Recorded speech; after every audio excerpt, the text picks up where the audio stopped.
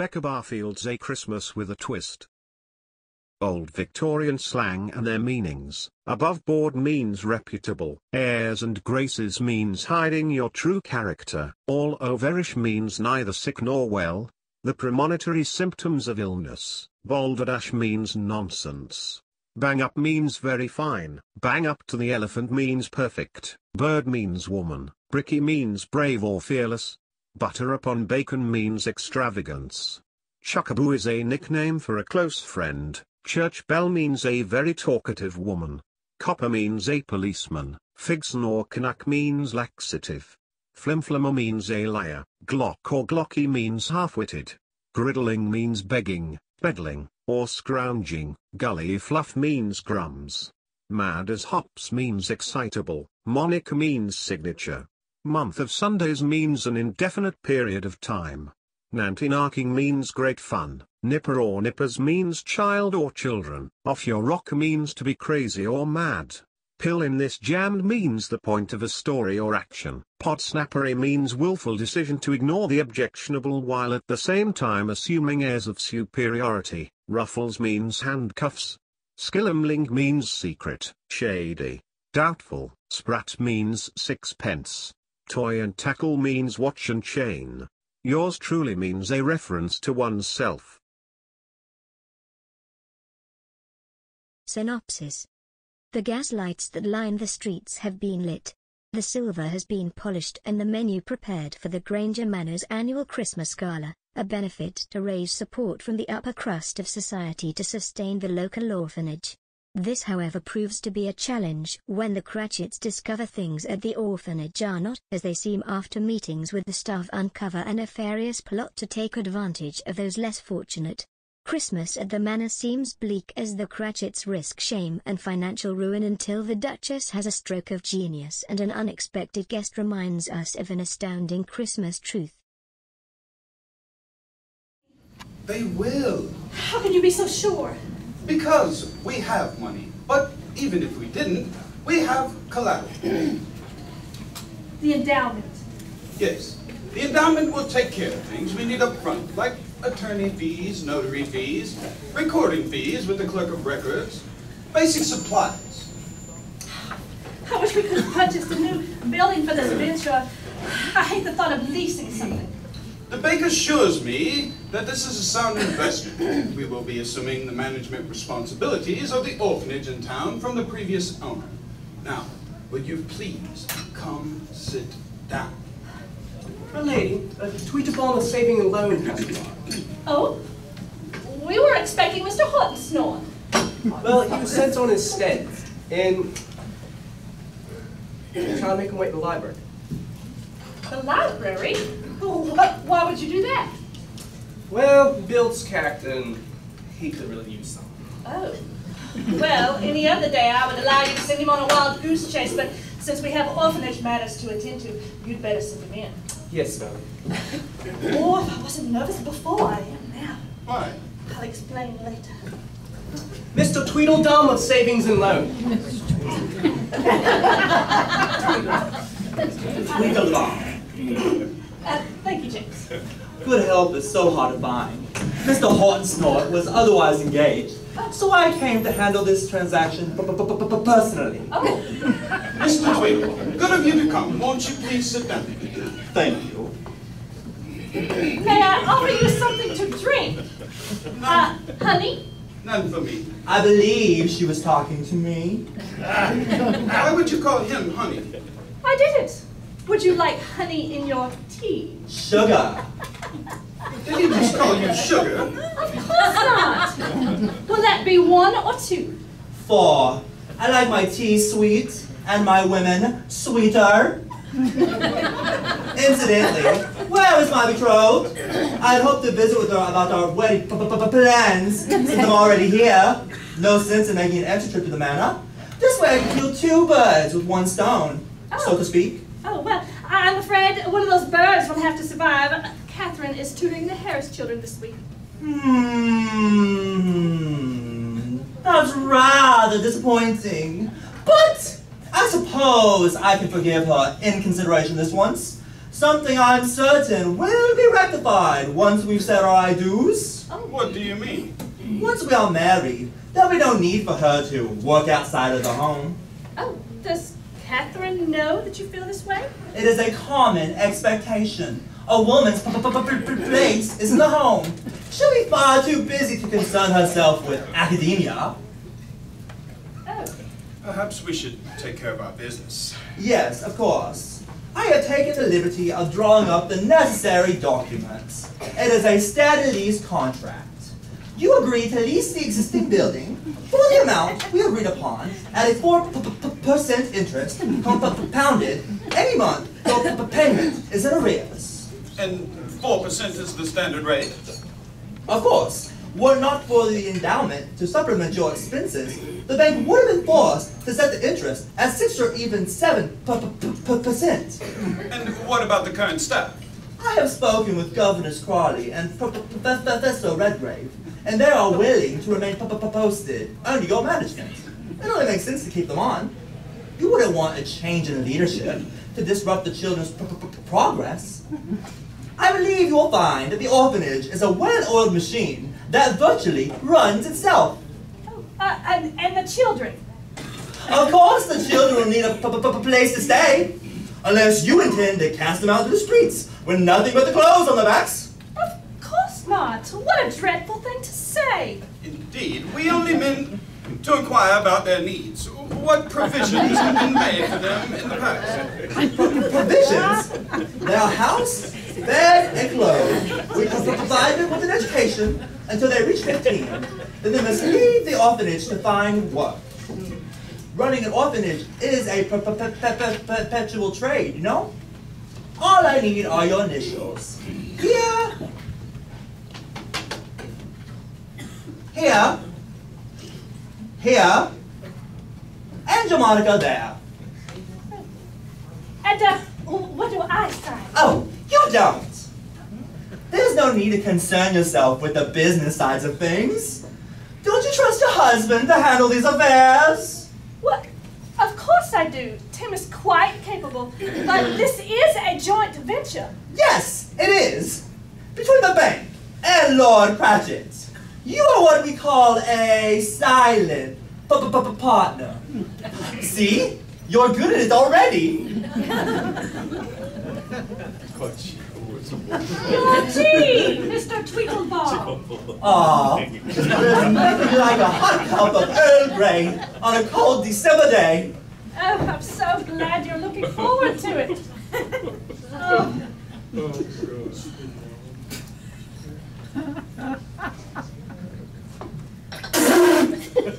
my!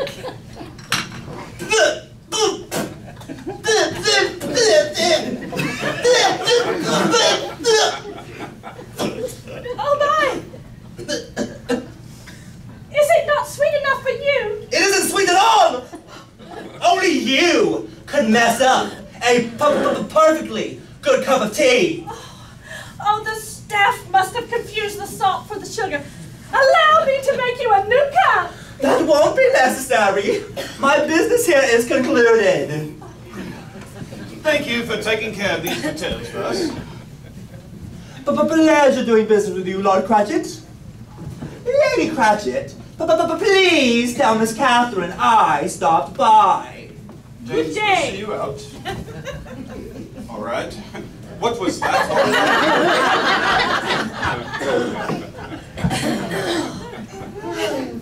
Please tell Lady Catherine I stopped by. Oh, you don't know how grateful I am that you came along when you did. You saved me from a fate far worse than death. Tweedledum? Oh, poor Catherine.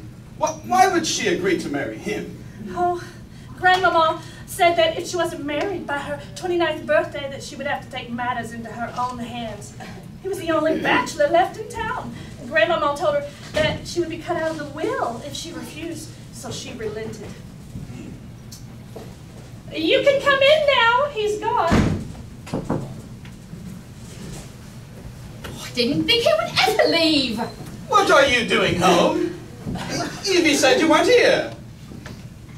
You little flim flammer. I told neither flim nor phlegm. But you said I, she... mm, I said that she would be tutoring the Harris children, which she will be for the next few days. I see. Very clever. Good tea. no, I wouldn't drink that if I were you. It's that was Mr. Tweedlebaum's. It's amazing what a shaker of salt can do to a, a cup of tea. that is good to know. Perhaps I should take this to Please. Oh, thank you, honey. You're welcome, sugar. All right, what is all that about? I'll explain that later. We have more important matters to tend to, Oh? and you're not gonna like it. Oh. Well, there isn't much about this arrangement that I do like. Oh, what is it now? He said you would have to give up teaching when you are married. What? Give up teaching? And manage the household. Manage the household? He said a woman's place is in the herd. All the antiquated male chauvinist things to say. It is the 19th century, after all. I'm sorry, Catherine. What are you gonna do? Oh, I won't do it. I'm so relieved. The thought of that man marrying into our family. Oh, I still have to marry him. But he's off his rocker if he thinks that I am going to give up teaching. Ah, I worked too hard to earn my teaching certificate. No one's going to take that away from me. I was hoping you'd changed your mind. How can I? The announcement's already been made. To back out now would bring shame upon our family. Well, I, I would be banned from Granger Manor, and Grandmama would disinherit me. Uh, Where would I go? H- how would I live? Well, I know, but to be stuck in a marriage to that man, not only is he crass, but the way that he does business seems a bit skilmalik, if you ask me. Skilmaling. Yes, I'm not sure, but he, he, he, something seems amiss. He claims it was all standard procedure, but Tim didn't even have a chance to read through the tr- contract before he left. Maybe you're just nervous because you're assuming the responsibilities of running the orphanage. The lease has been signed, so I suppose everything is in order, at least on parchment. Well, have you been to tour the facility? Uh, not yet. According to your betrothed, Don't call him that. it is a well-oiled machine that virtually runs itself. well then, uh, perhaps we should just pop in and see for ourselves. I wouldn't want to be a disruption to the children's schedule. Oh, Evie, you own the place now. It's your job to be disruptive. I had thought of going on Monday to assess what, what's need, what's needed to be done. You can come with me if you like. You would know best what's needed in that area than I. Well, I will do anything to make me unavailable to you know who. Hmm. Did he give you any idea what the children have? Uh, well, uh, food, water, clothing, shelter, and an education. A Professor Redgrave has been the teacher there for the past few years. Any idea what he teaches? Well, I assume it's the usual reading, writing, and arithmetic, but that will only do so much. I fear that it, it would set them up to be educated failures by the time they, they turn 15 and have to leave the orphanage to find work. Tim and I were hoping that the local businessmen in town were ought to offer apprenticeships uh, to the older children so that they may learn a trade. But what about the younger children?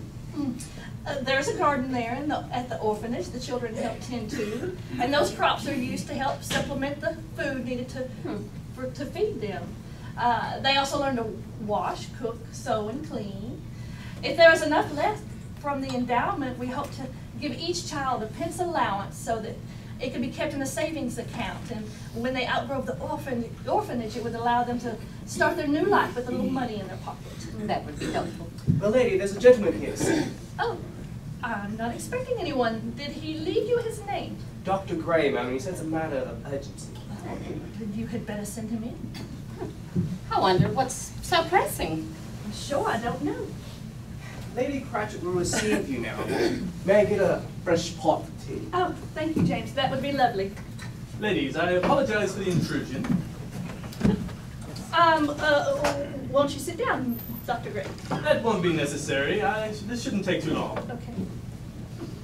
Uh, well, allow me to introduce to you my sister. This is Miss Catherine Granger. Very pleased to make your acquaintance. Likewise. Uh, to what do we owe the pleasure of your company today?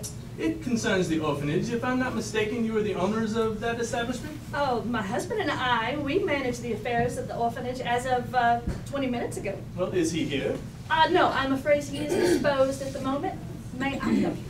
Yes, my invoice for services rendered at the orphanage.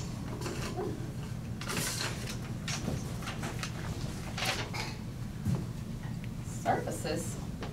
What, what kind of services? Treatment for influenza, bronchitis, Okay. and head lice, to name a few.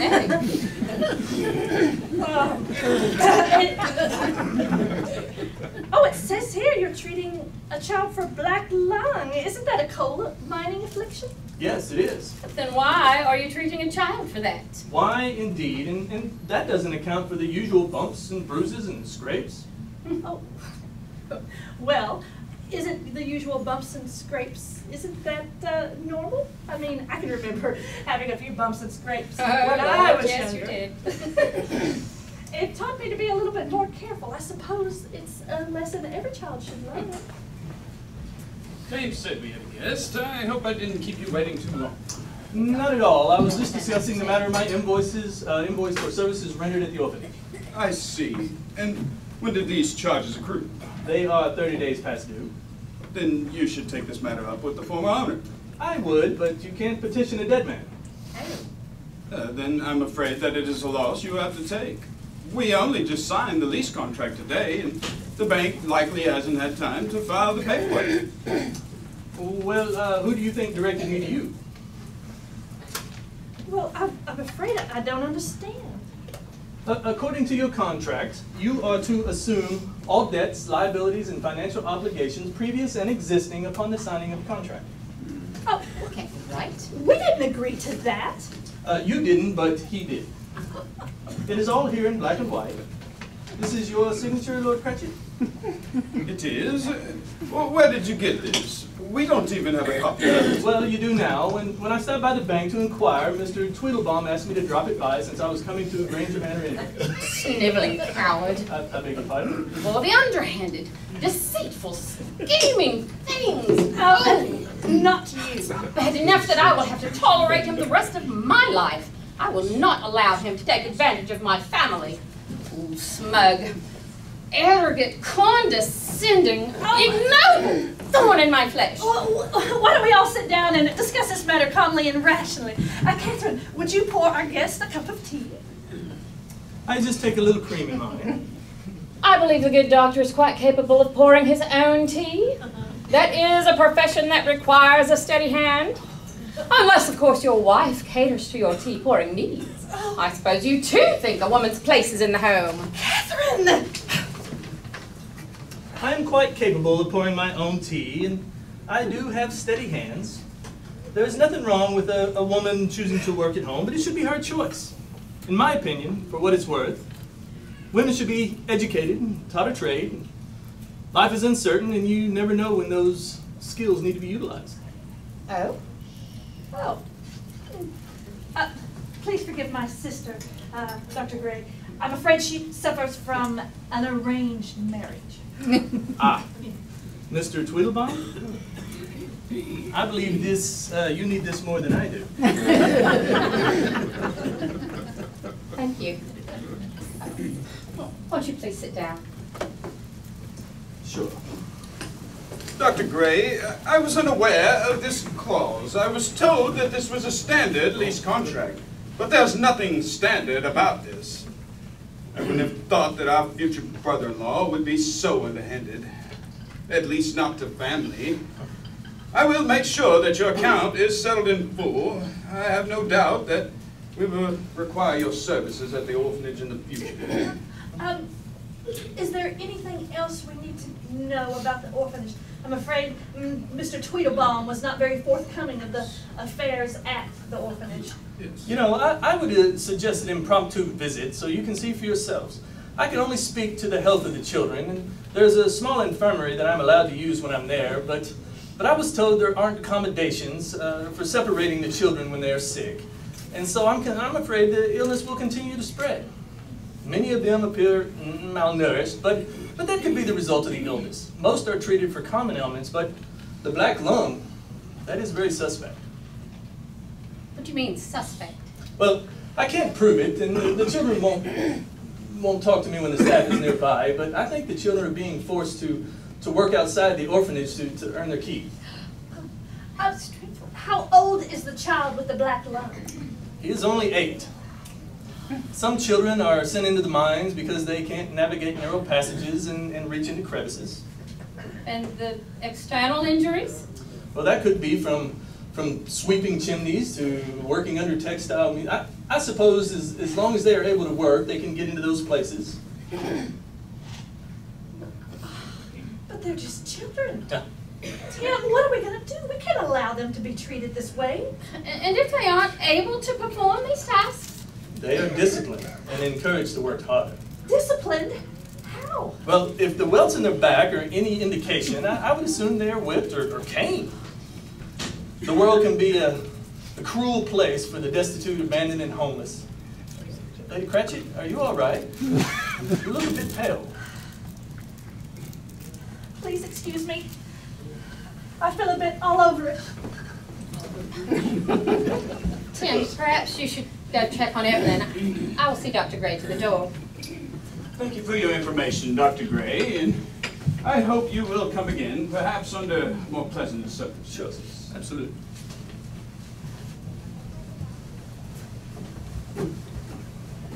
Your hat, Dr. Gray. Ah, thank you, James. I'm afraid I've overstayed my welcome. Oh, don't be silly, not at all. You'd have to be an invited guest to wear out welcome, and since you dropped by unannounced. Well, There's no harm in finishing your tea before you go. You mean the uh, tea that I served you? Oh. Shall I pour? Only if it doesn't offend you. It doesn't really offend me. I don't mind, really. Oh, it's just. It's the least I can do since I deprived you of your cut before. Sorry. James, we'll get that later. Uh, how does Mrs. Gray prepare your tea? there is no Mrs. Gray. I believe you said a little cream. Thank you.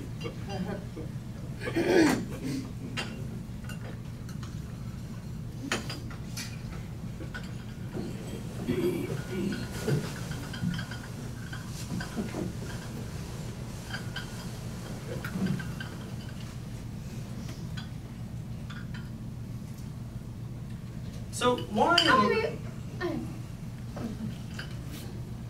Have you? Have did you?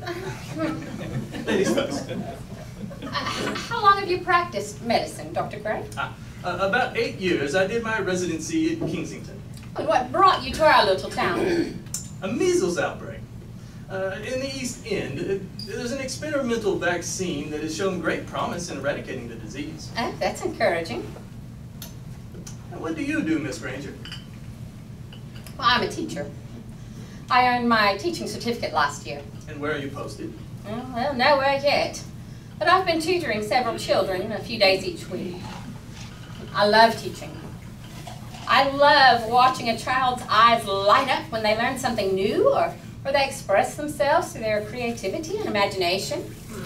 I know I'm doing something that will matter for years to come. Hmm.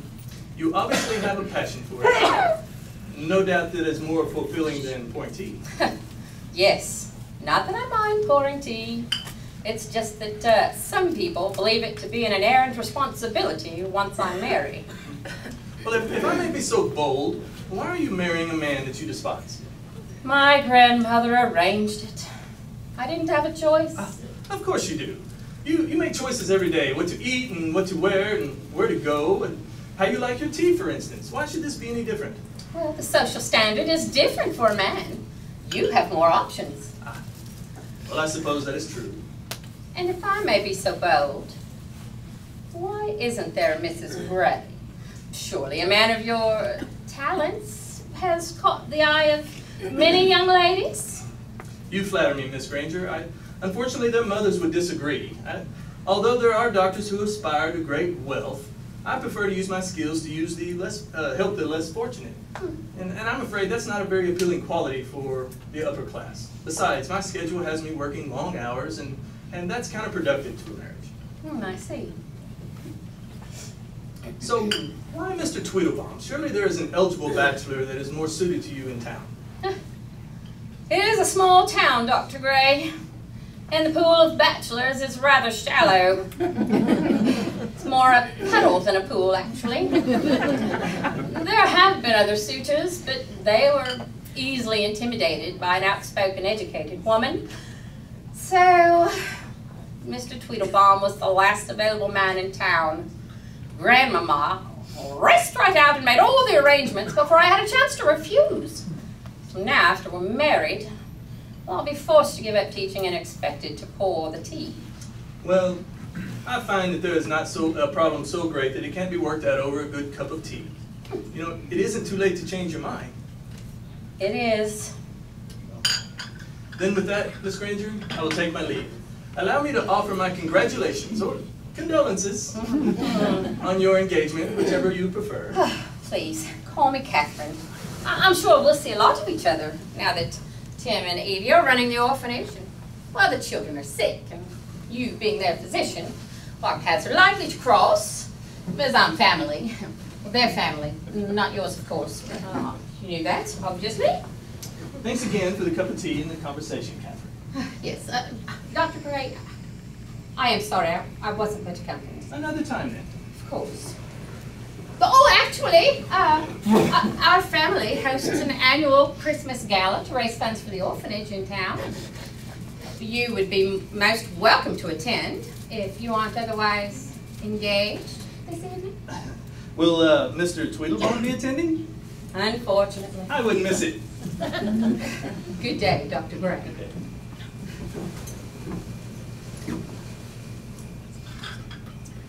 Can't believe there isn't a Mrs. Gray. Dr. Gray, confirmed bachelor.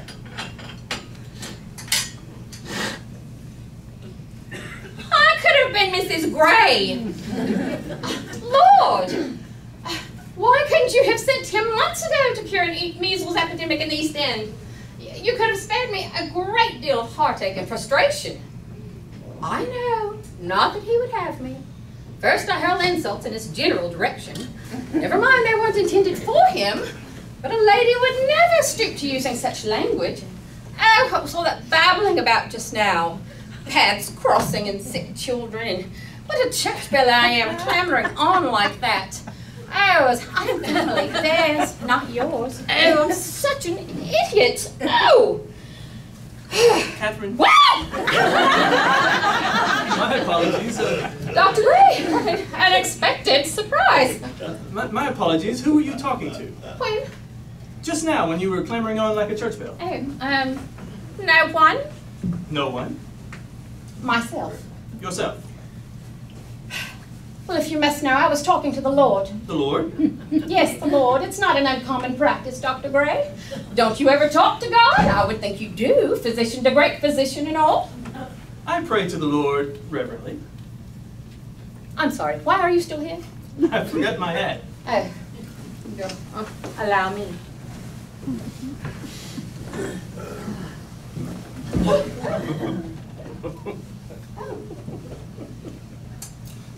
Are you all right, Catherine? Of course. Why do you ask? You look uh, flushed. Do I? Do you have a fever? What? Uh, no, no, it's nothing. I, mm, I must have been standing too near the fireplace earlier. Um, I. All right. Well, I have my hat, and I will call on you again this evening. This evening? The gala. Yes, the gala. What time should I arrive? Uh, it starts at seven. Okay. Well, then I will arrive half past six, and to make sure that you are right. I would hate to think that I brought an illness from the orphanage into your home, and, and uh, I'm not convinced that uh, it was the fireplace that has you so hot and bothered. Oh. uh, I'm fine, really, Dr. Gray.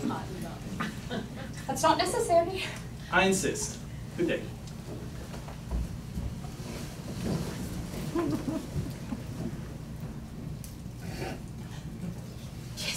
Yes, this time. Oh, oh, just, oh, just rambling, sneaking up on me. Oh, oh!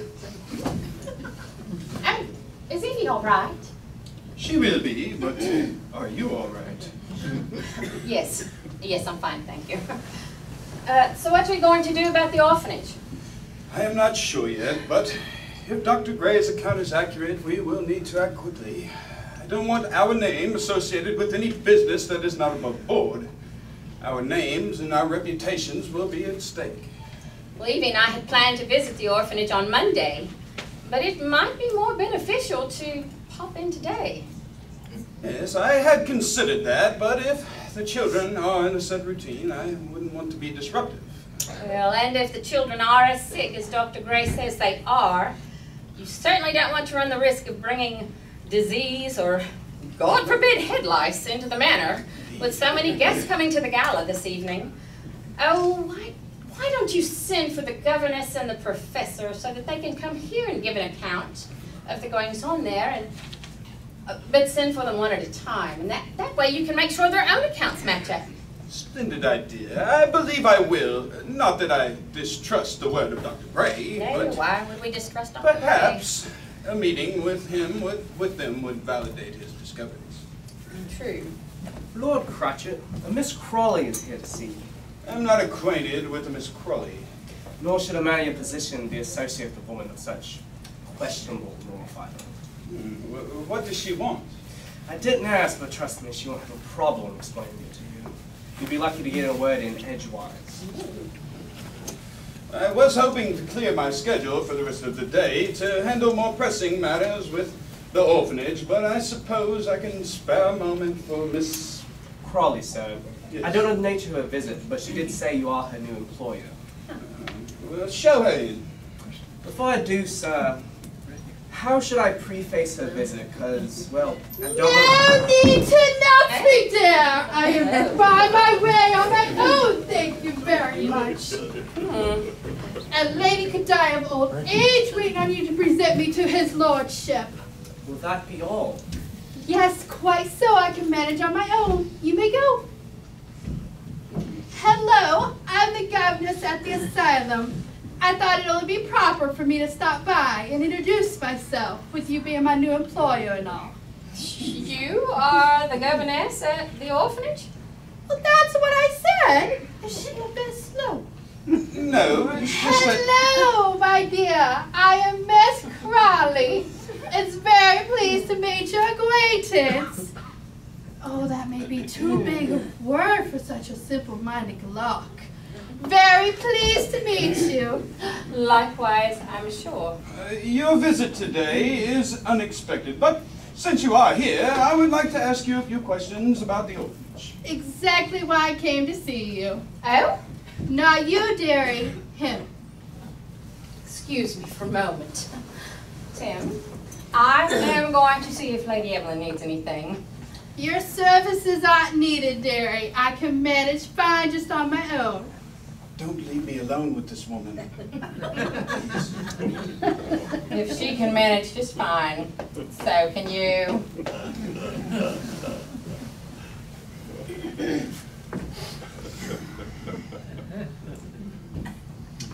So, Miss Crawley, what can I do for you? Oh, straight to the point. I like a man who doesn't mince words. I've come to inquire about my wages. What about your wages? Well, they haven't been paid yet. And Mr. Tweedlebaum said I should speak to you since you own the place now. I see. Well, before we discuss the matter of your wages, I would like to know more about you. Oh, all right.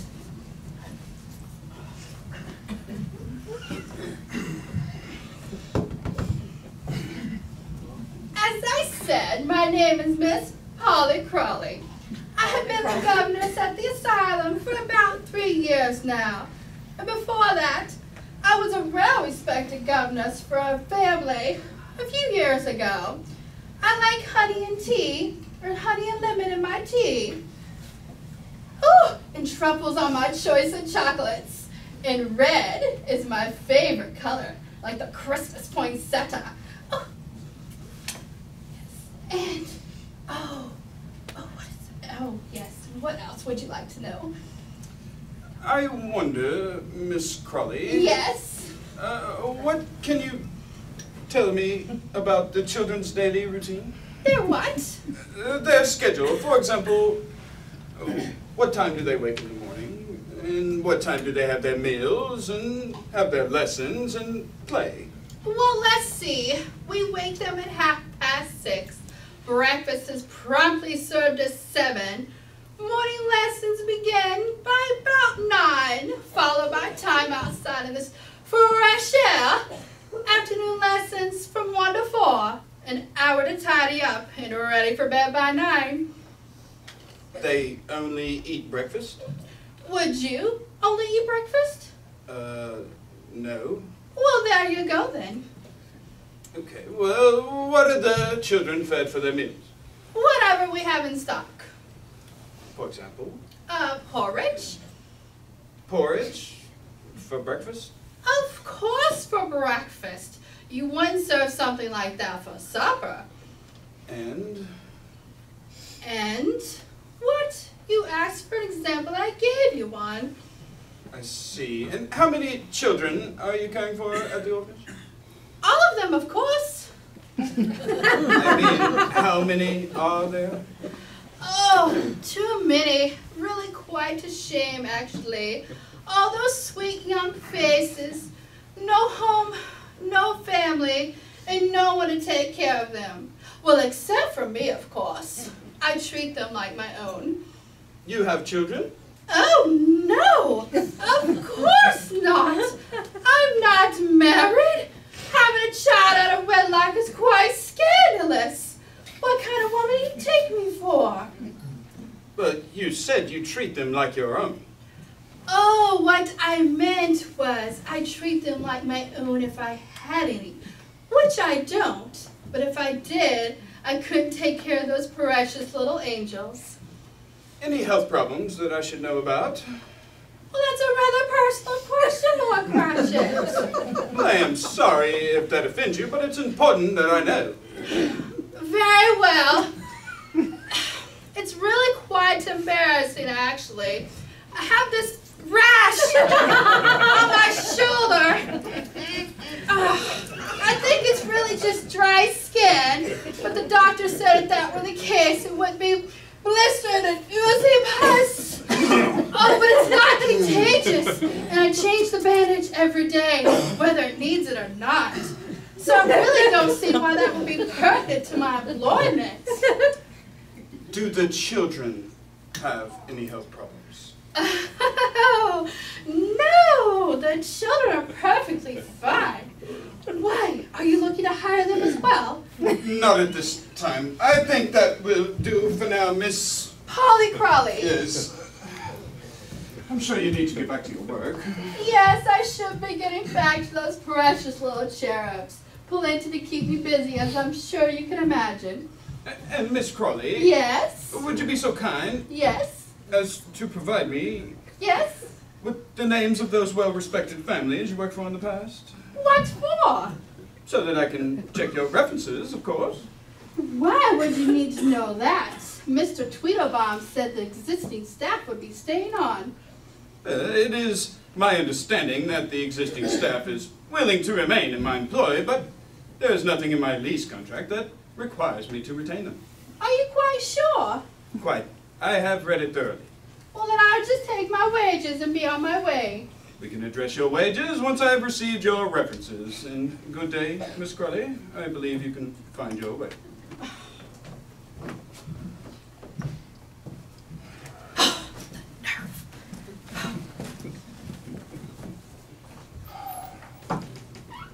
Gotten ourselves into? Lord, I know that your word says that you would not put more on us than we can bear, but Polly Crawley, oh, disease-ridden woman, around all the children, children's low immune systems, oozing pus, flaking skin, all the couch. Oh. Well, if you can deliver the Hebrew children from the plagues of Egypt, I suppose you can deliver us from the plagues of the governess. My lord, I don't care who it is, James. Send them away.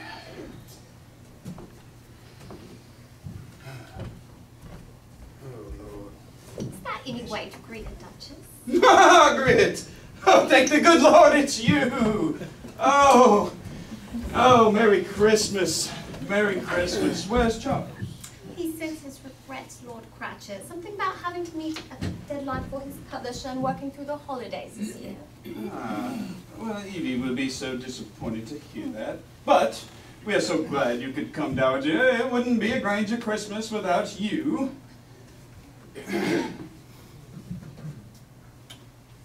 and I hope you weren't too uncomfortable on your journey. That good, huh? well, James, why don't you place her chair near the fireplace? I wouldn't want her to catch a chill. May I take your wrap, Duchess?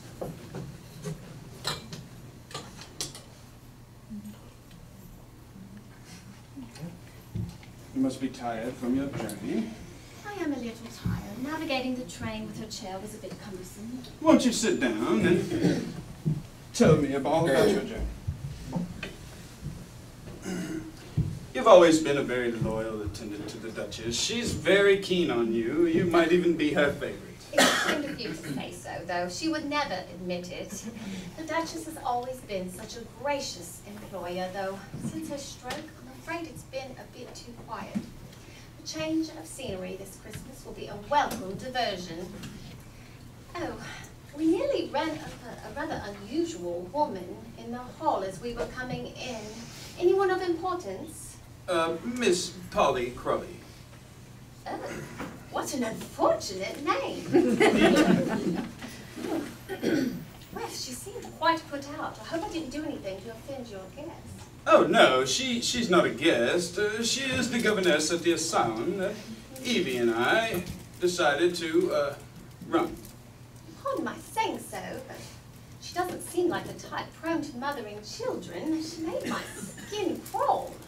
Let's not talk about skin. I've seen enough of hers to last a lifetime. Oh, Oh, well, not that much, but enough. As the dow- dowager would say, she is a pricky little pod snapper. So, what did the doctor say was the dowager's prognosis? Well, she isn't able to move on her left side and seems to have lost the ability to speak. I fear it's affected her spirit as well. She's no longer receiving company at her home and tends to sleep a lot. Why don't you get settled while she is resting? I will have Miss Pattycake prepare some biscuits and tea, and then we can discuss your role here at Granger Manor. I have already spoken with Miss Pattycake, and I am glad to be of service any way I can. So if you will excuse me, I'm going to go freshen up and report to the kitchen. I'm sure there's much to do in preparation for the gala tonight. Indeed, of course. Uh, Will you? s- We will see to the dowager's needs while you are here. All right. Thank you. Mhm.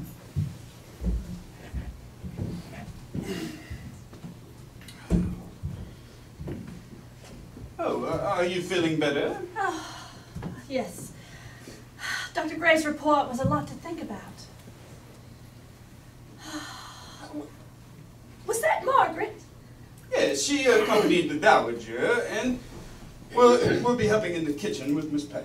Oh, uh, what about Charles? Oh, well, he couldn't come. He is inundated with his new manuscript and has to submit it to his publisher before the first of the year, but someone would like to say hello.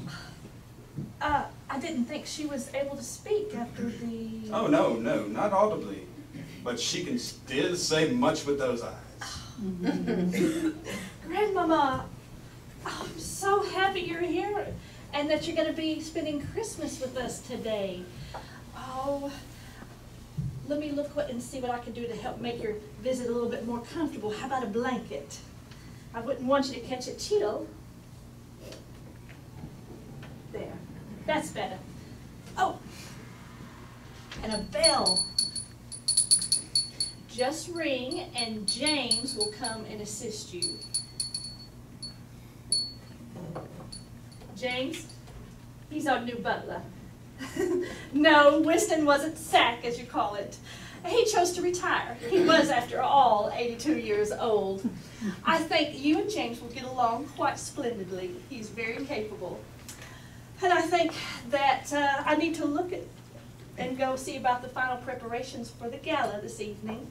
Uh, and Miss Pattycake, oh, I need to go see her. One of our guests is allergic to cinnamon. No, that won't do at all. I can't have you meddling about in the kitchen, interfering with me work stuff. Besides, I brought a nice fresh hot pot of tea. Let me see if I can get up these steps. I'm getting so old. Oh my goodness. Here's your tea. And who have we here?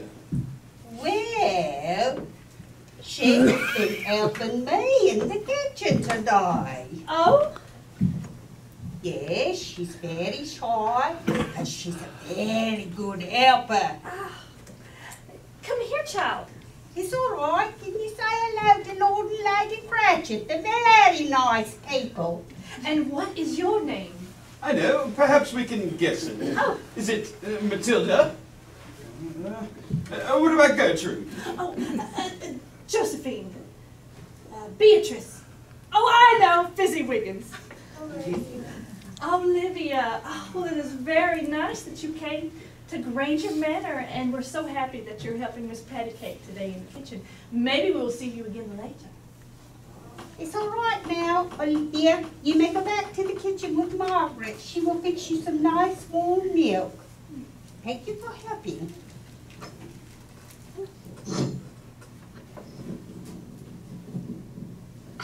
Yes, you may. I saved a few just for you. There you go.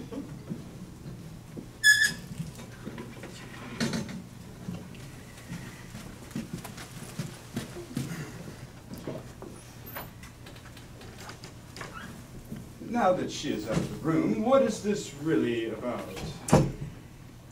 Well, this morning, sir, after Mr. Tweedledum, I mean Mr. Tweedlebum left, I decided I needed to go into town to pick up a few supplies for the gala tonight. And I thought it would be a nice gesture to take some Christmas cookies to the children at the orphanage.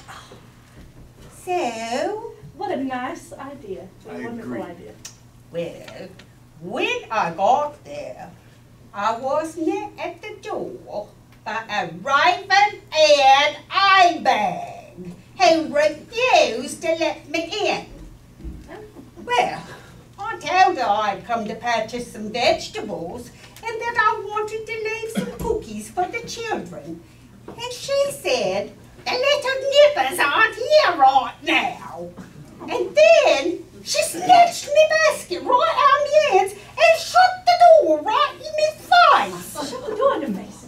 What an impertinent, cheeky woman. She, she's mad as ops. Sounds like someone I know.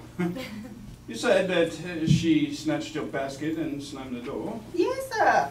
And before I could clear the stove, the door opened up. And she was there again. And she had my basket full of vegetables with a hand held out for payment. And behind her stood Olivia. What did you pay her? Well, she wanted three pound fifty. But half the vegetables were fifty-eight. So I told her, I'll give you three pounds flat. Take it or leave it. And she took it. And then she said, for a sprat, I know of a brat that could help you cooking and clean in your kitchen. What is a sprat? It's a sixpence, sir. A brat for a sprat, she called her. When I told her no, she shut the door in my face again. Did you see any other children there? Oh, no, Mum. The curtains were all drawn, and it was quiet as the grave. Not a peep. But you know, when I walked back through town, I noticed for the first time children were everywhere. They were sweeping the porch of the mercantile, crawling around on the floor under the machinery at the textile mill, standing outside their houses, covered with chimney soot. They were just wriggling about on the street corners. You don't suppose those were the orphans? Well, I'm not sure, sir. But what are the chances the orphanage would be empty at the same time all these children are out in town? And that's when I realized that Olivia was the last. Well, that explains why the raven-haired haybag offered to provide you with a child to help you in the kitchen.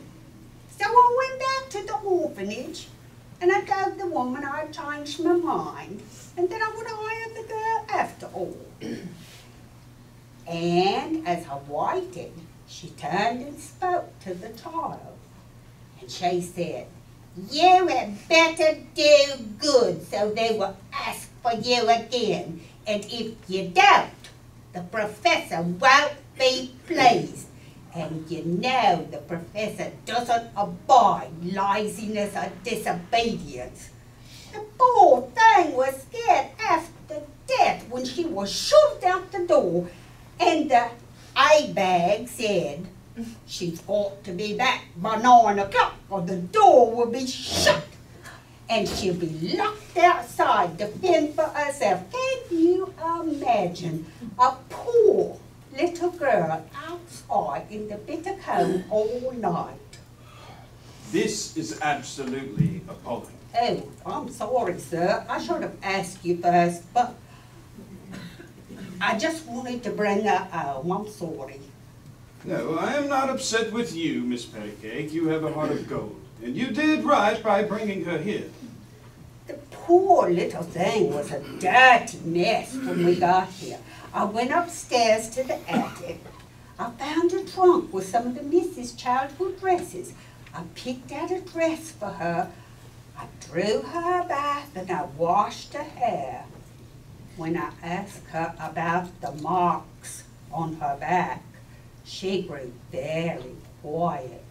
She said it was our fault. Her fault? Well, what could she have done to have possibly deserved that?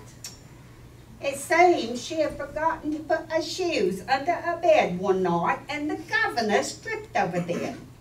I asked her if the governess had done this to her, and she said, Oh no, Mum, only the professor punishes us. Punishes them for leaving a shoe out of place? That's preposterous. When I put that dress on her, she lit up like a Christmas candle. She said she'd never seen such a beautiful dress or worn anything quite that beautiful. I asked her how long she'd lived at the orphanage, and she said it was the only place she'd ever known. It nearly broke me heart. Oh, that poor little girl. She's nine years old. Tim, what are we going to do? We can't send her back there. I agree. We are going to do something. And there are about to be a lot of changes at that orphanage. Miss Miss Pattycake, please tell James to place some linens on the sofa.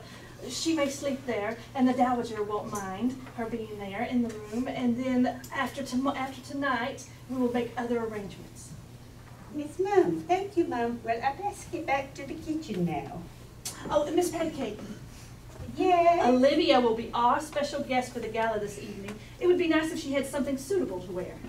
Oh, she'll be so excited. I'll take care of it personally myself. Shall I tell her? Let me. Oh, right. Thank you, Mum.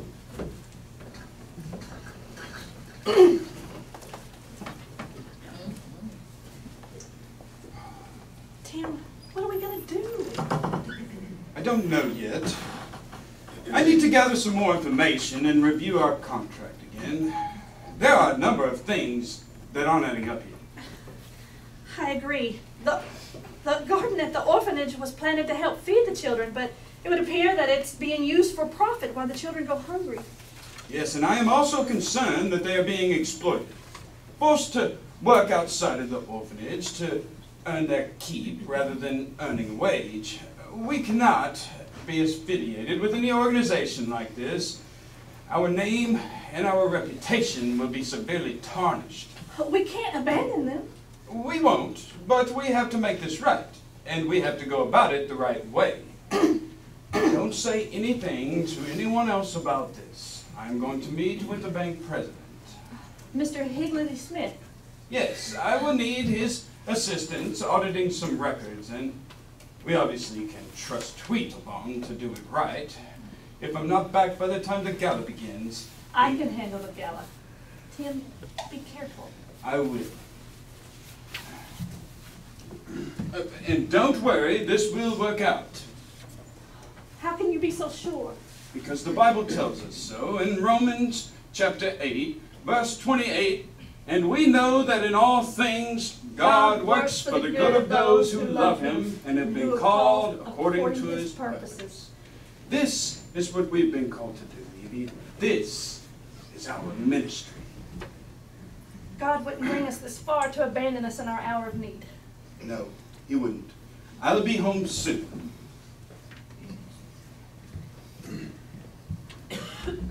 Lord, we need you. We need a miracle. Those ch- children desperately need you. Help us to find what they need and help us to love them, Lord, as you have loved them. Help us to provide for their needs according to your riches in heaven and not just the meager offering we bring. And Lord, bless Olivia. She's endured more hardship than any child should have to. Amen.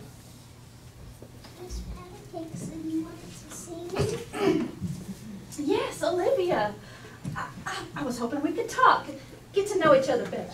Why? Well, because you are a guest in our home. No, I'm not. I'm just here to help work in the kitchen.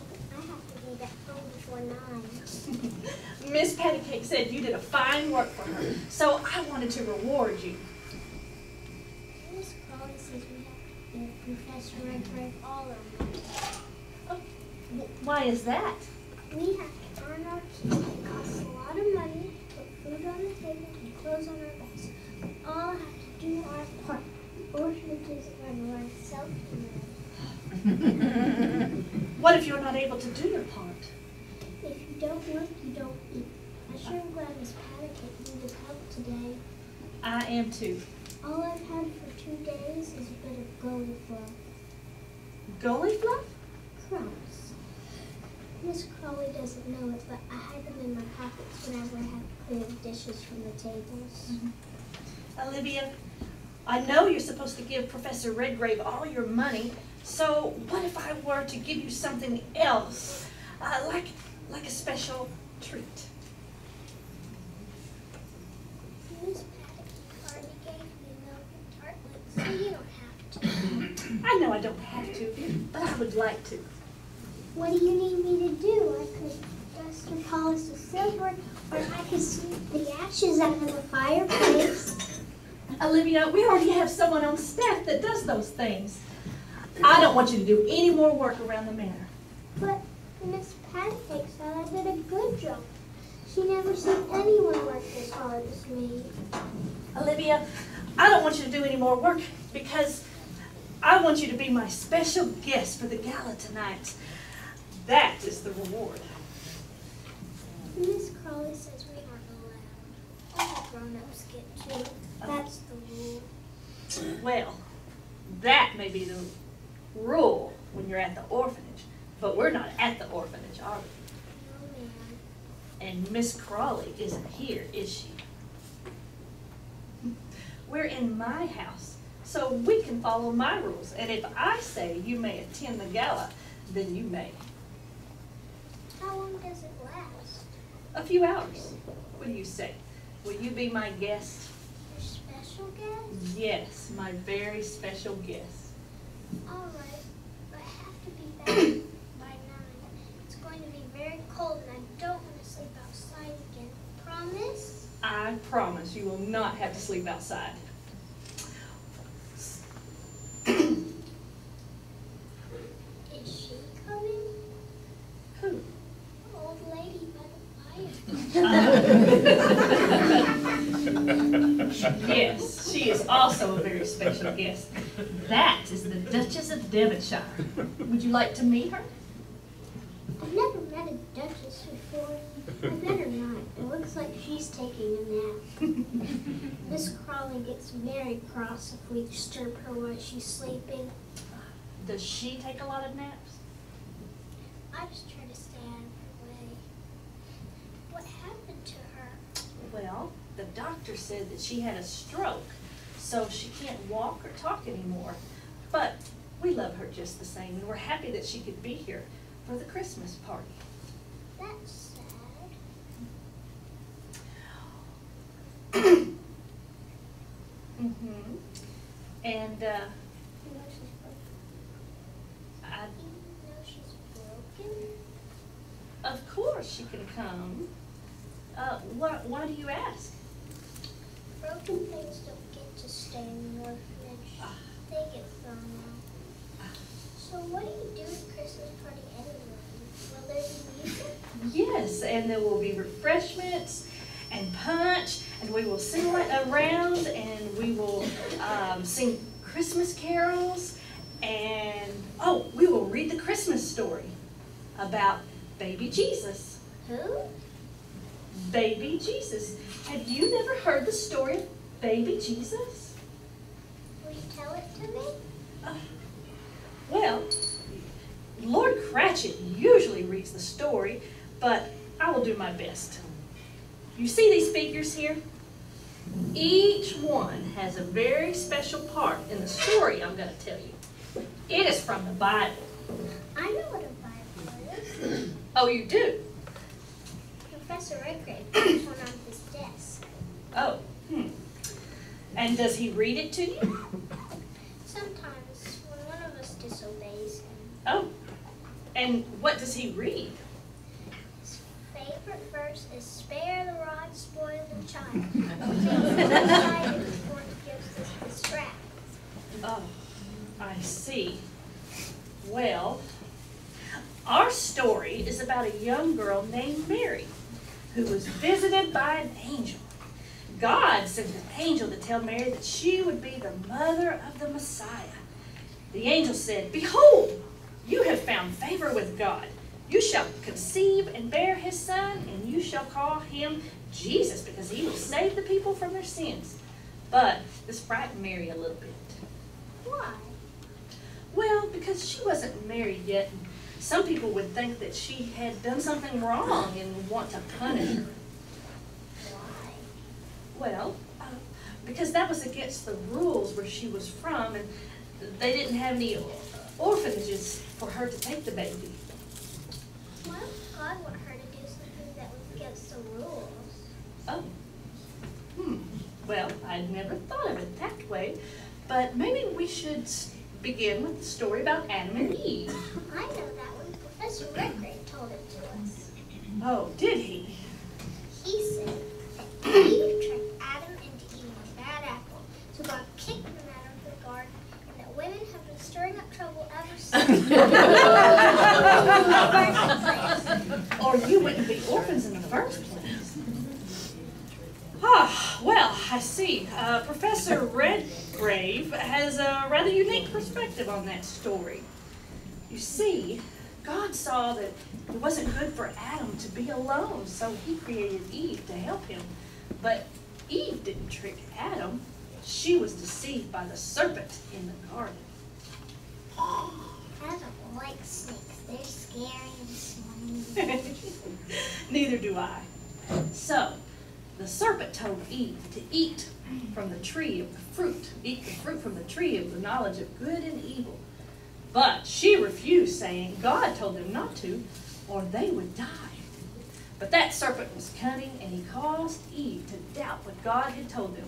He said, You will not surely die. So when so she chose to taste the fruit, and then she took it to Adam, and he chose for himself when he saw that Adam, or when he saw that Eve had tasted the fruit and had not died, he chose for himself to taste it as well. And at that moment, they became aware of what was good and evil. They knew they had disobeyed God's rule, and even though God loved them very much, he could not allow them to stay in the garden anymore.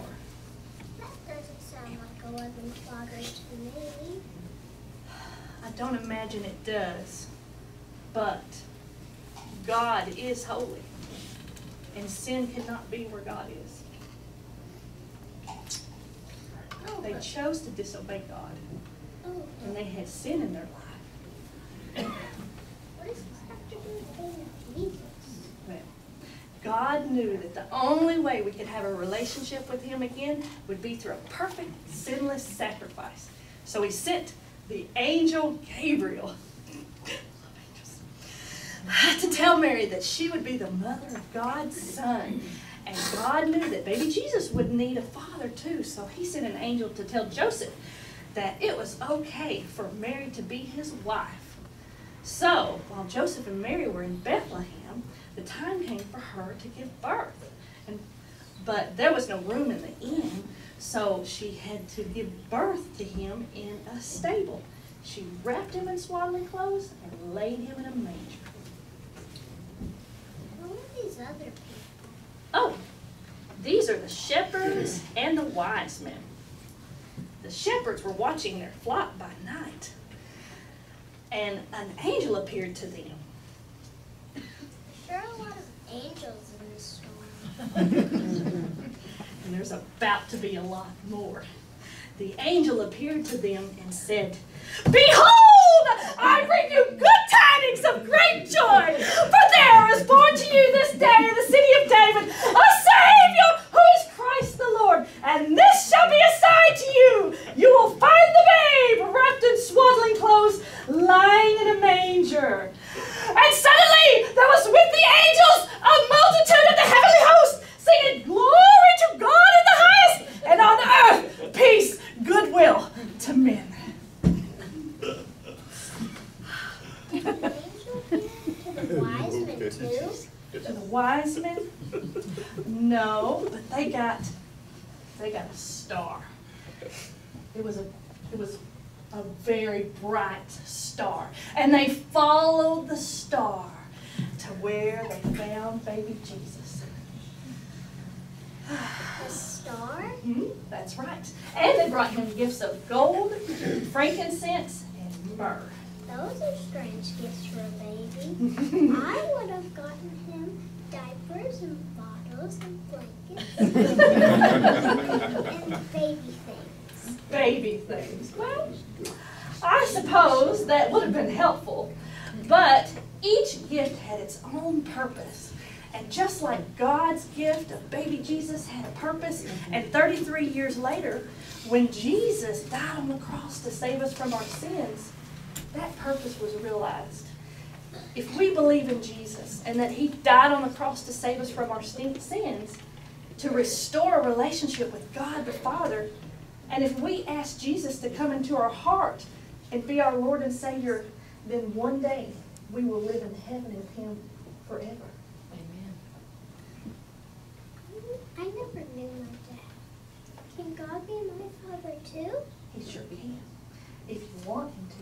I would like that very much, but I don't know what to do. Will you help me? I will. We can pray together. You can repeat after me. Dear Jesus, Dear Jesus, thank you for loving us so much thank you for loving us so much that you were willing to die on the cross for our sins. that you were willing to die on the cross for our sins. We ask that you come into our hearts We ask that you come into our hearts and be our Lord and Savior. and be our Lord and Savior. Is there anything you would like to say? Dear God, thank you for sending baby Jesus. He is the best gift I ever got. Actually, he is the only gift I ever got. But now, because of him, you get to be my dad, I can't wait to live forever in heaven with you.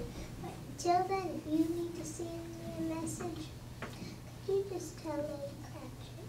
I think I've heard enough about angels for one night. Amen. Oh, and one more thing, if it's not too much to ask, could you please help the Duchess feel better so she won't be broke no more? Amen. Amen. Now I want you to go with Miss Margaret, and she's going to help you get ready for the party tonight.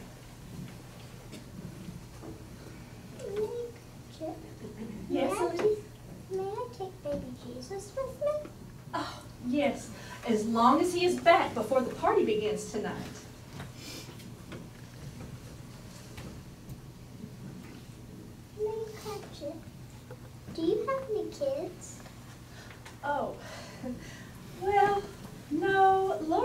And I wanted children, but I suppose God has a different purpose for my life other than being a mother. Well, that's too bad. You would have been really good at it. Run along. Oh, and I almost forgot. I said a prayer for you. I asked God to fix you so you won't be broken no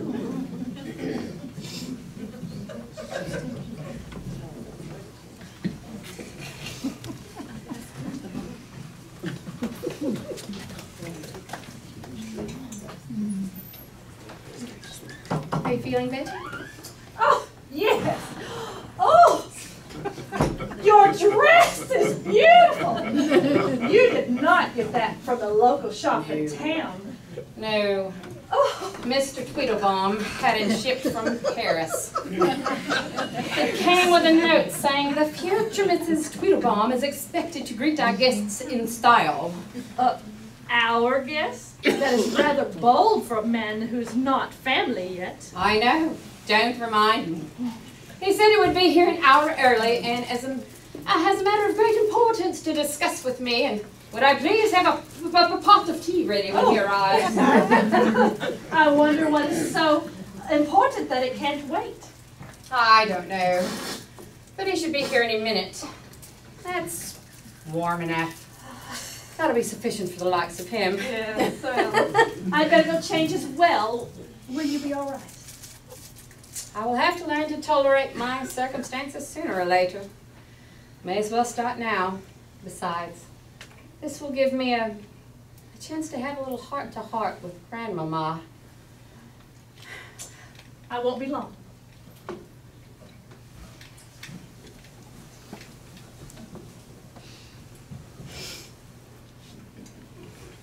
Good to see you, Grandmama.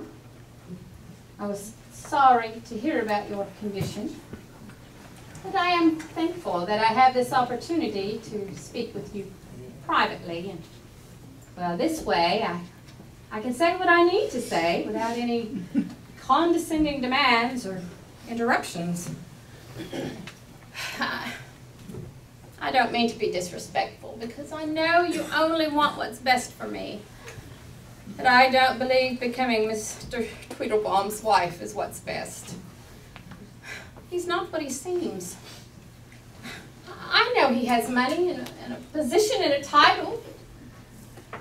If I marry him, I will cease to exist. I won't be the independent, self-sufficient teacher anymore. All my hard work will have been for naught because he won't allow me to teach once we've married.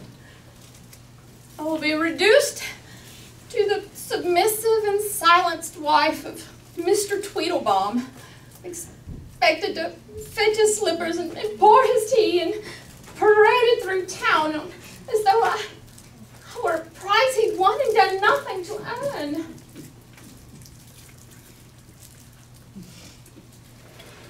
I know I won't be happy.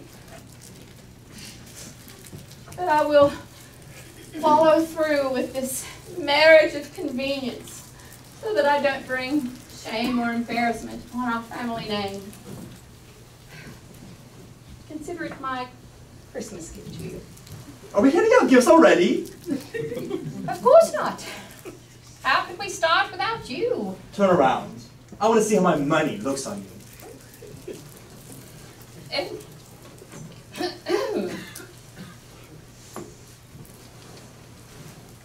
Bang up! Bang up to the effort indeed. As for the small fortune on that dress, and I knew it would look stunning on you, and I wanted you to look resplendent when I pr- pr- pr- present you with your gift this evening. I believe you will be quite pleased with yours truly. then I hope I do your money dress justice. You will, as soon as you go fix your hair. What? We can't have my fiance looking disheveled before the guests arrive. What will people think? Well, that will depend upon whom they are thinking. Run along, my little kitty cat, and p- p- p- pin those little stray hairs in p- p- p- place. I will thank you not to call me that. But it's such a cute little p- p- p- pet name. I am nobody's pet. You will be, and soon. I am counting down the days until you are Miss P- P- P- Presley P- P- P- P- Porter P- P- P- P- P- P- Pembroke Tweedlebaum the third. Now run along now, and do as I say. I, I really shouldn't leave Grandmama alone. I will stand here and keep the dowager company. Run along now. Well.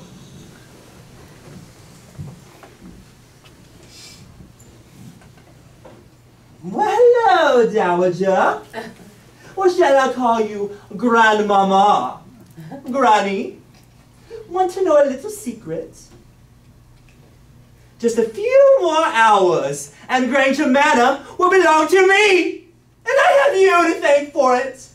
You see, I'm not just a banker. I'm what you call an opportunist. Working at the bank affords me access to everyone's financial records. And the Cratchits haven't made an installment on their mortgage in over six months. Grounds for immediate foreclosure. But when you approached me about marrying your granddaughter, I saw the opportunity to make Granger Manor my own. And when I heard that Tim and Evie wanted to, to assume responsibility for the orphanage in town, I humbly offered my financial counsel and services at the bank. It only made sense for me to let me to handle their affairs, since I was about to become part of the family. I spoke to the bank and convince them to postpone the foreclosure when I will waltz in like the hero I am and satisfy the debt. Naturally, Tim and Evie will need to relocate. But, but, but perhaps they can live at the orphanage with all the other outcasts. oh, but I almost forgot. The orphanage is about to be demolished. That old building isn't suitable to be inhabited. The former owner left it in a state of disrepair, but I suppose it is good enough for street urchins. I know, Dowager, it is quite tragic. But there is nothing to be done about it now. The contract has been signed and notarized, legally binding. Naturally, Catherine will remain here with me. But don't worry, I will take very good care of her.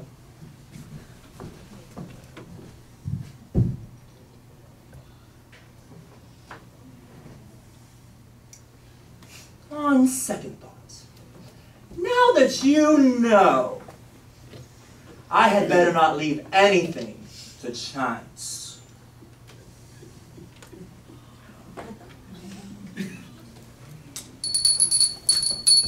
What are you doing?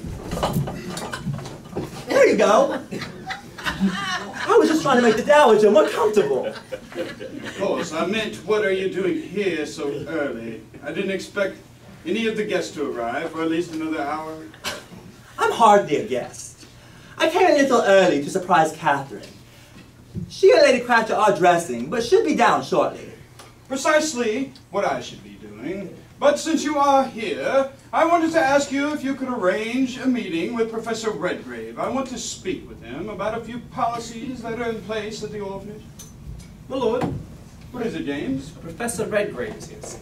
Sir. Well, this is po- po- po- positively pro- pro- providential. Show him in. Mr. Tweedledum, my apologies. I didn't realize you arrived so early. My name is Tweedlebaum. It is such an extraordinary request that this po- po- po- paltry servant of yours address me correctly and with the respect that I deserve. Didn't I? Oh my, I've offended my master's guest. Well, I guess I have to be reprimanded now. What shall it be, the oil or the rack? You wouldn't be so cruel to inflict carnage on a poor paltry servant like me, now would you? Well, you see, I did not know you were given such authority to give demands to staff here at Granger Manor. Now, what shall I do now, my lord? Show the professor in. I will meet with him here. Yes, sir. I will go and get dressed, and I will be back in a moment. Be a good chap and pour him a cup of tea, won't you? I don't po- po- po- pour tea. Suddenly, someone educated in banking and accounting can calculate the amount of tea required to fill an eight ounce teacup I won't be but a moment.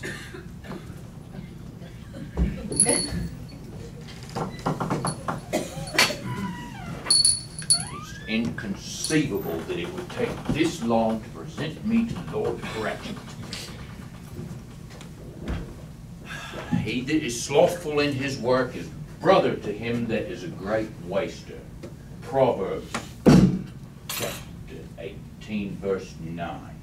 My apologies, Professor Redgrave. Has to wonder if he intended to hire such slovenly staff. Were you in my employ, you would be.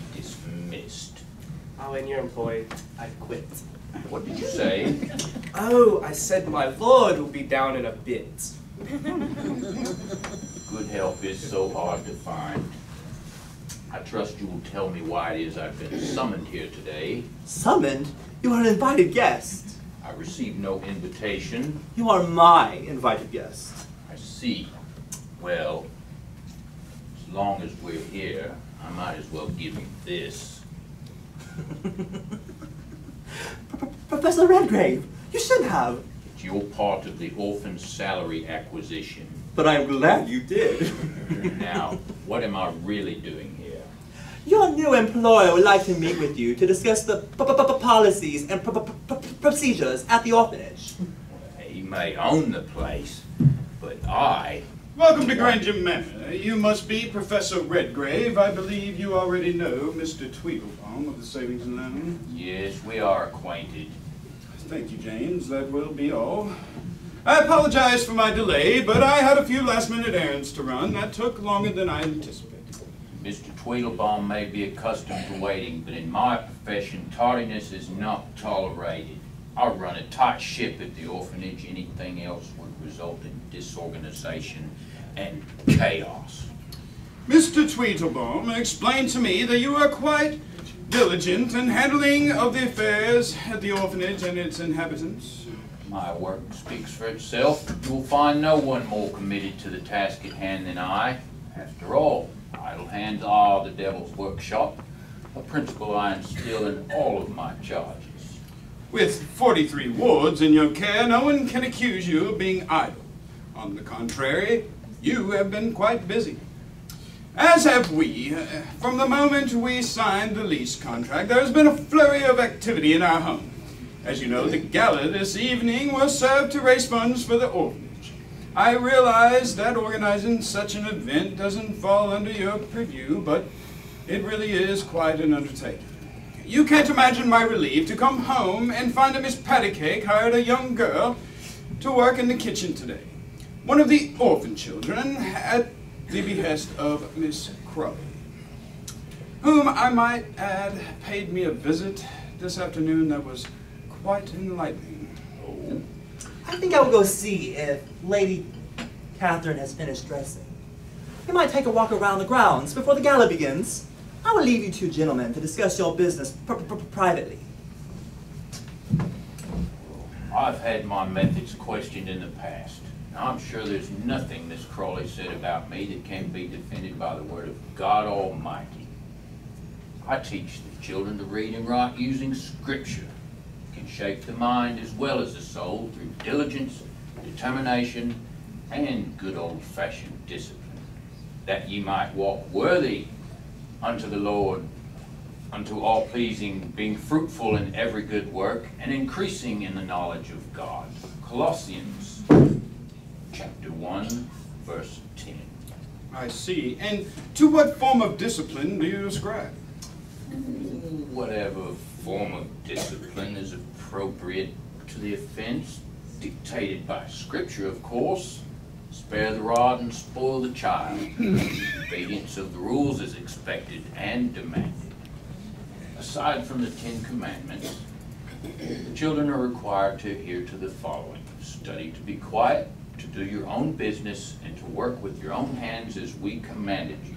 First Thessalonians chapter 4, verse 11.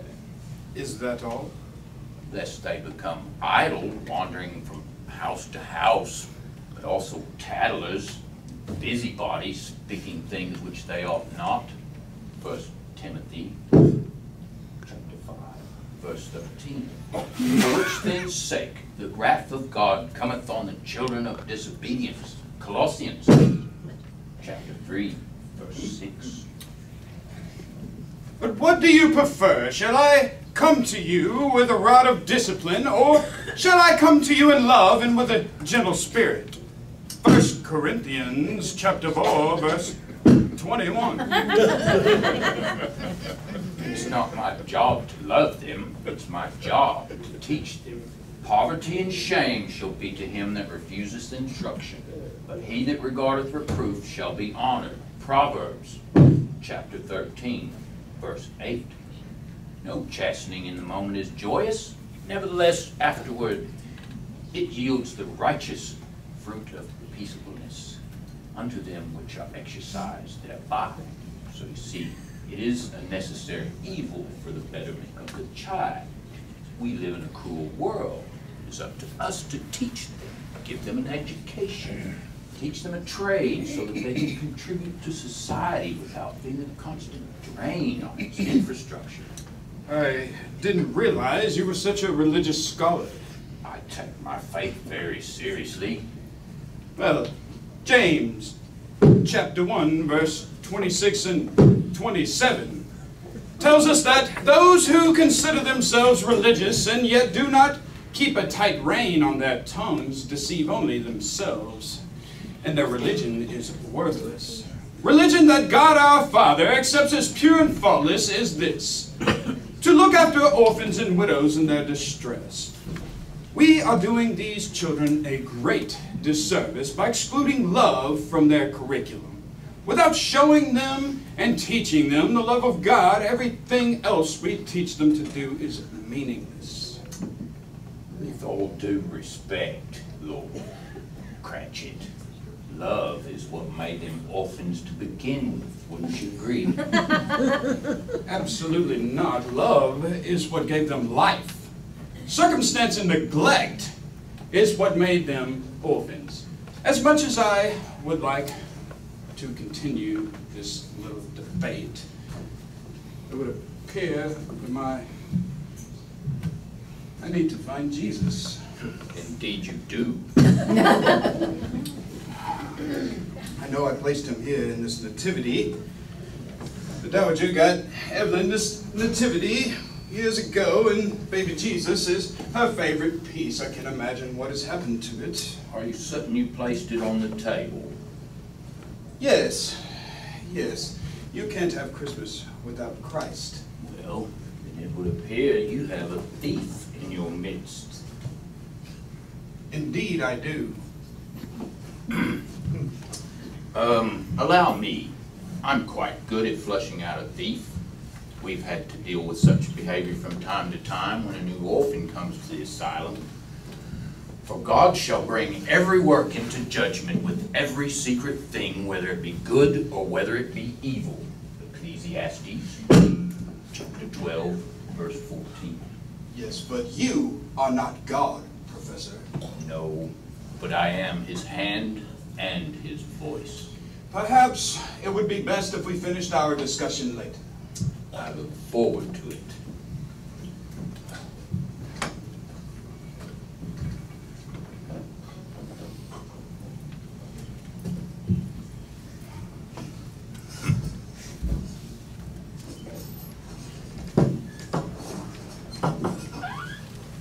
At this time, we'll be serving dessert and coffee as requested.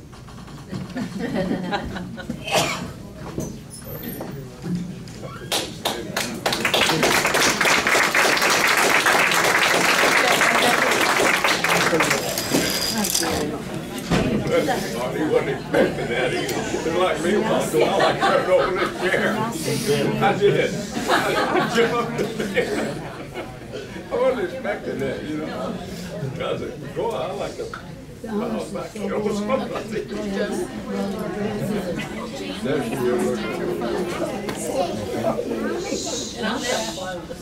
Important guest set. Come to celebrate your birthday. I know. The be George and Wallace, and we'll call the wise he brought you the and Frank, because he brought you the frankincense, and That's all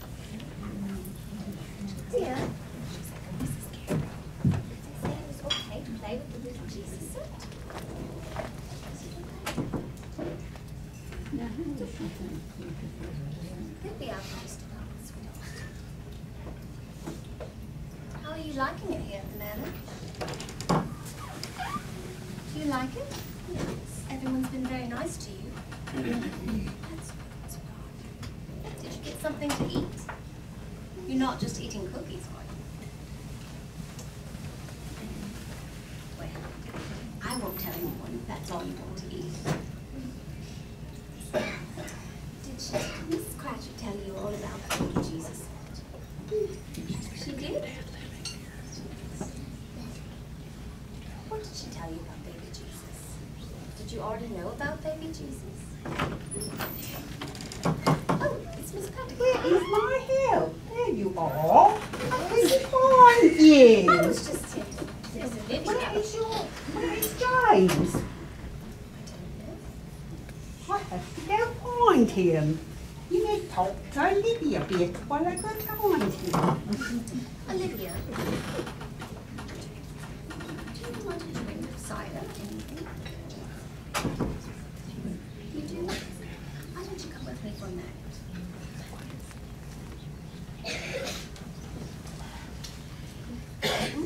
Just a minute.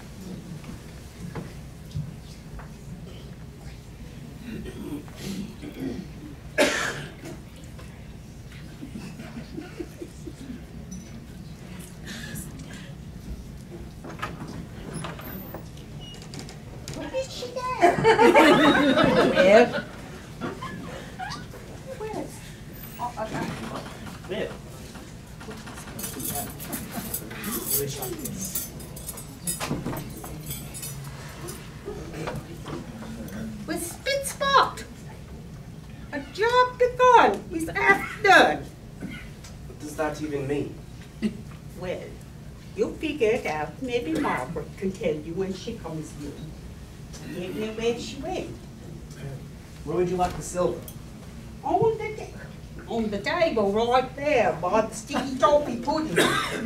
oh my goodness. Good help is so hard to find these days. I swear. It's a good thing you can't talk now, or you could just get mad at them for not doing their job. Tell them to help me. They're supposed to be out here doing their job. oh my goodness, I am so flustered. Oh. Hey, Ma. oh. Well, there's Margaret. Now you can ask her if you want to know what that spit spot means. What does the spit spot mean? Do you want me to finish ladling the cider, Miss Cupcake? Well, yes, that would be quite helpful. Tending to Miss Olivia.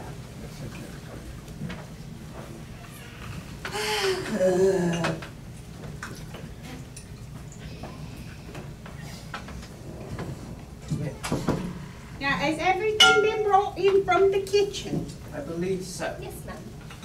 Okay then. Oh, I have a surprise for you. Spit spot?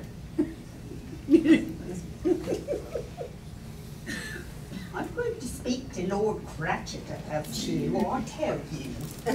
All right. Lord and Lady Cratchit has decided to invite the staff to the gala this evening. Oh, to serve the food and punch. Oh no. You will be guests. You will be eating this Oh. delicious food tonight from these tables. How wonderful. Oh. Will there be any leftovers? I don't believe there will be. And if there are, we're to take them to the orphanage. Well, we've never taken them to the orphanage. Well, we are tonight, and there won't be another word about it. Yes, ma'am. Well, if we're eating this tonight, I might as well get a head start. Ah, ah, ah, ah, you must wait for the guests. Now.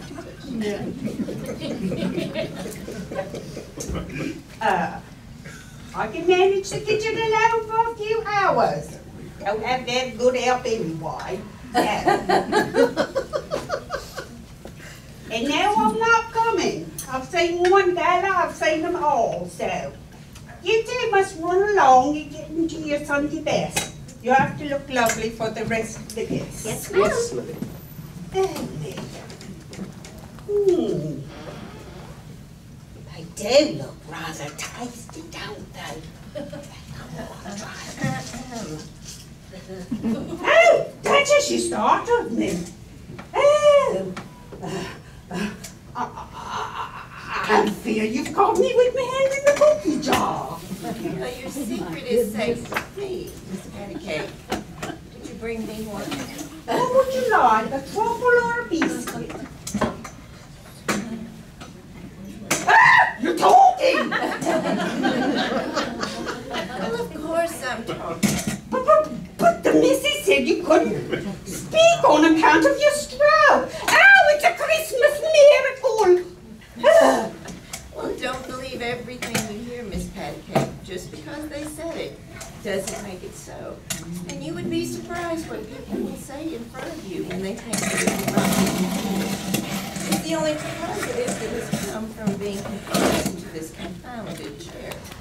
Is there anything I can do for you? Well, if you would move me a little closer to that window, it would be so much nicer. I've sat by this fire so long, I'm beginning to feel like a pig on a spit. Still, if I can move this heavy chair, I love pushing you around. No, I didn't mean it that way, Mum. I, I mean, I love putting you in your place. Oh no, I didn't mean it that way. I'm so sorry. Oh well, here we are. I think, wait, I need to move you over a bit so I can get out of here. I'm a fat lady, you know. So, here we are. I think you're good. Now, what else? Anything else? Well, if you would join me for a cup of cider. Ah, well, if you like. You always did make the best cider, Miss Patty Cake. You simply must share the recipe with my cook. Oh, well, I can't do that, Mum. That's been a family secret as long as I've worked for the Granger Manor. But I'll be glad to fix it for you any time you like. May I ask you a question? Certainly, what is it? Well, your family has been so worried about you. Why are you keeping them in the dark? What's to be the pill in this jam? Why the charade? Well, my reasons are my own, and my ability to speak must remain secret, at least for a while. But I feel there is an ill wind blowing through the manor, and it is my duty to right the sails, so to speak. In due course, it will all be revealed. Well, I'll keep your secret you keep mine. Oh, I think I hear someone coming. Um, Oh, that's I my don't know why you want to be a teacher. Um, one more thing, would you mind taking all the pillows off the furniture, please? The pillows? Yes. Yes, ma'am. And I will take care of the rest. Whatever, I can do this without stealing the spider. I'm just going to put it over here, maybe nobody will drink out of it. Or maybe Mr. Tweedledum will drink out of it. Ho, ho, ho.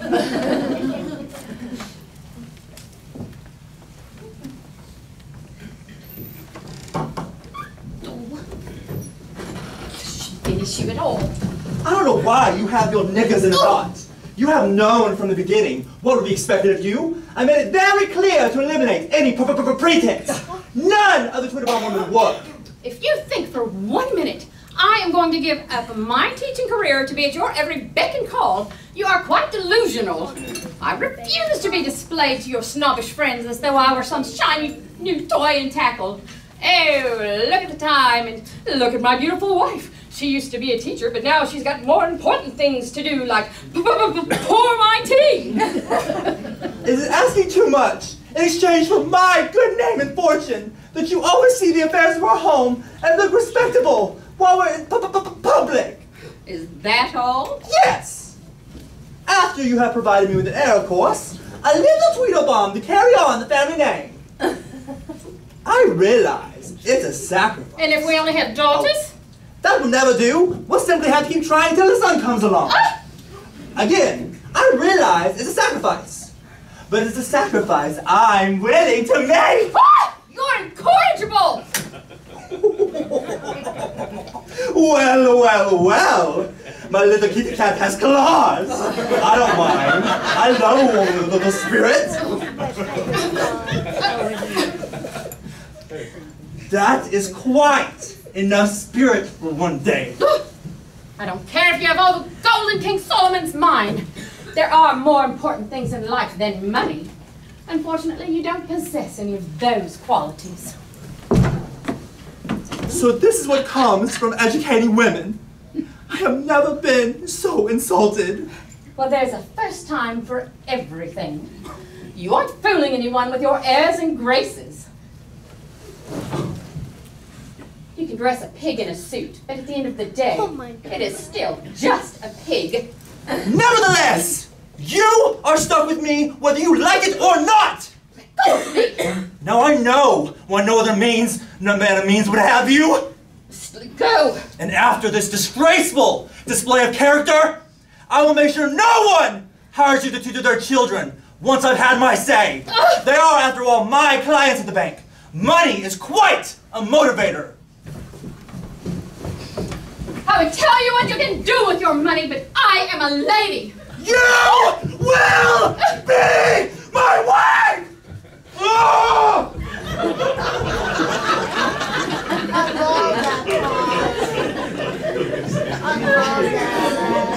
I that script.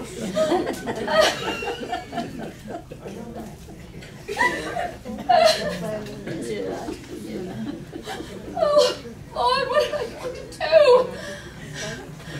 I can't believe this is part of your will for my life.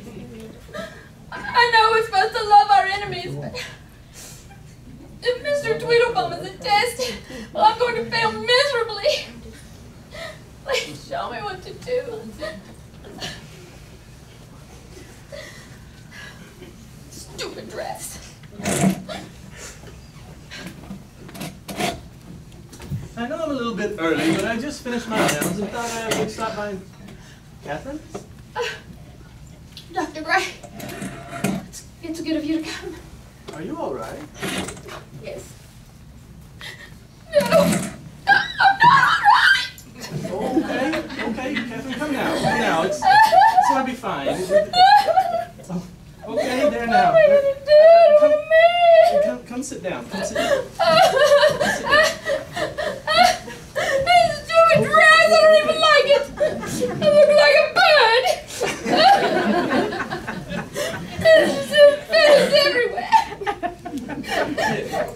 Say something. Oh, okay. All right, all right, all right.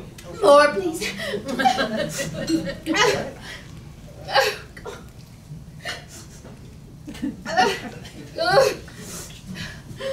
Thank you. Is that better? Mm-hmm. Yes.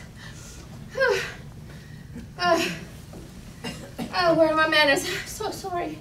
Uh, may I offer you something to drink? No, that's not necessary. Oh. Well, I might as well get used to the idea of a life of service. Mr. Uh, Tweedlebaum? I passed him in the hall looking none too pleased. He called me kitty cat. So I insulted his vanity. Clearly. Do you want to talk about it? Not particularly. I'm told I'm a very good listener. It Won't do any good. It won't make a difference. What a shame. Here I was thinking the uh, wedding of the century had been called off. Oh, For, uh, for your benefit, of course. Uh, it's abundantly clear that you do not love him. well, I never pretended otherwise. Then why? Because it's what's expected of me. You know, at the risk of being too forward, and ah, boulder dash. I said I don't want to talk about it. Mm, Okay. All right. nice weather we are having today. I, I thought it might rain earlier, but I was thankful it didn't. I was worried that it would put a damper on this evening's events. Are you really talking about the weather? Have you nothing more interesting to say? Well, we could talk about that pain in your wrist. It's, it's nothing. It's clearly something. Let me look at it. No, it Did he do this to you? I shouldn't have been so outspoken. So he did this to you. But you can't tell anyone. Catherine. Catherine, look at me.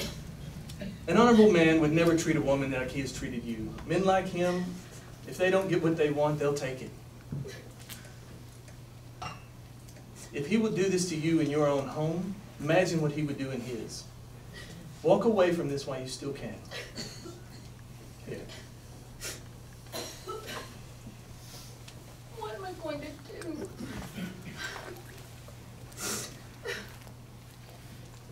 Is that what we are, friends? I'll keep it. That's all that we can be. You are engaged. I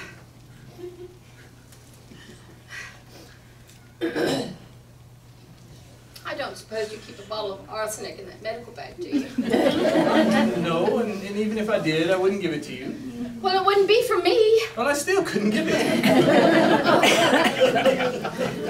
you. Well, how about something less terminal, like a, a Fixin or, or Karnak? A laxative? Well, it won't kill him, but it will keep him out of my sight. You want me to give your fiance dysentery? What? It's not fatal. It can be. Oh? I'm afraid the only thing I can give you is a bit of advice. Oh, advice? I thought you took an oath to help people. I, I, I did. Help me. Helping you like that would would not only contradict my oath, it would have us both in prison for a month of Sundays. I'm I'm sorry, but you'll have to come up with some with a better plan.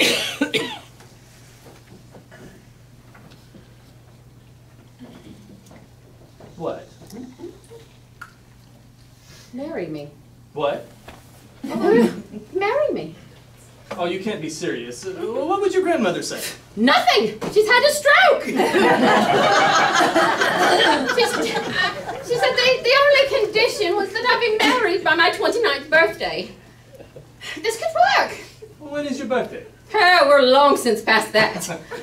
We haven't any time to waste. But but we, we barely know each other. You- don't even know my first name. Yes, I do. It's. Well, it's. Well, how can I know what it is if you've never told me? Besides, I, I would never disrespect your profession by, by calling you by your first name. As long as it doesn't start with a P, we'll get along splendidly. Philip? Philip. Oh. What's your middle name? Hawthorne. Huh. Dr. Philip Hawthorne Gray. I can live with that.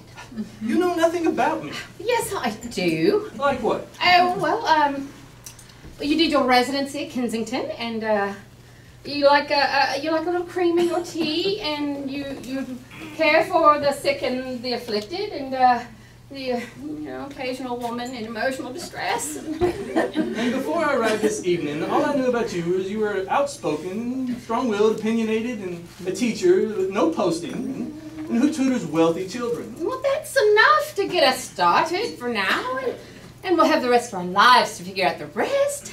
You said yourself we're friends. Friends get married all the time. Reverend Fitzgibbons will be at the gala this evening to say a blessing over the orphanage. He, he can perform the ceremony. He can do it tonight. Tonight? You you want to get married tonight? Yes, I thought you'd never ask. I did no such thing. I, I could never propose to a to a woman who is engaged to another man. Well, I am trying to rectify that, but you're being difficult. Well, pardon me for being difficult. I, but a moment ago you implied that you either wanted to kill your fiancé or have him running to the loo in perpetuity. I, good Lord, what would you do if you were mad at me? well, nothing like that. You're a doctor. You figured out. Uh, just marry me.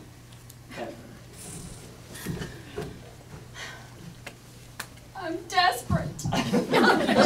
Desperate. Well, that's flattering. I'm not marrying you out of desperation for who you are. But I am desperate to not marry Mr. Presley Porter Pembroke Tweedlebaum the Third. Catherine, we, we are not getting married. I know it's unorthodox, and, and I, know you do not love me. Um, my behavior today is enough to give any man cause. but in time, you could. We could grow to love each other. Catherine, Well, if not for love, then marry me for my money. People do that sort of thing all the time as well. Well, you would be able to care for your patients without any concern for recompense, and we both get what we want. That would make us both susceptible to ridicule and gossip. What more do you want? I've already surrendered my pride and what little dignity I have left. I would get down on one knee, but this corset is so tight I might swoon. please, please marry me. Catherine, you are a strong, beautiful woman, but you're going about this all the wrong way. Any, any man would be a fool to refuse you. And I, I may regret, regret this, but I can't marry you. Not like this. You deserve better and you should fight for it. That's it then. It's your choice. You, you have the final word. Don't, don't let him take that away from you, too. But why don't you go for a little walk before the gala begins? Uh, you look like you could use some fresh air. Doctor's orders. you All right. Well, shall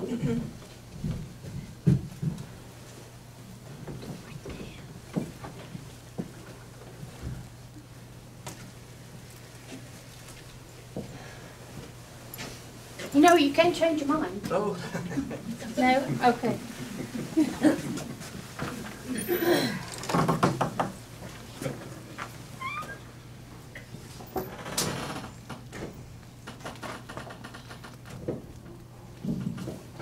All right, then, Jesus.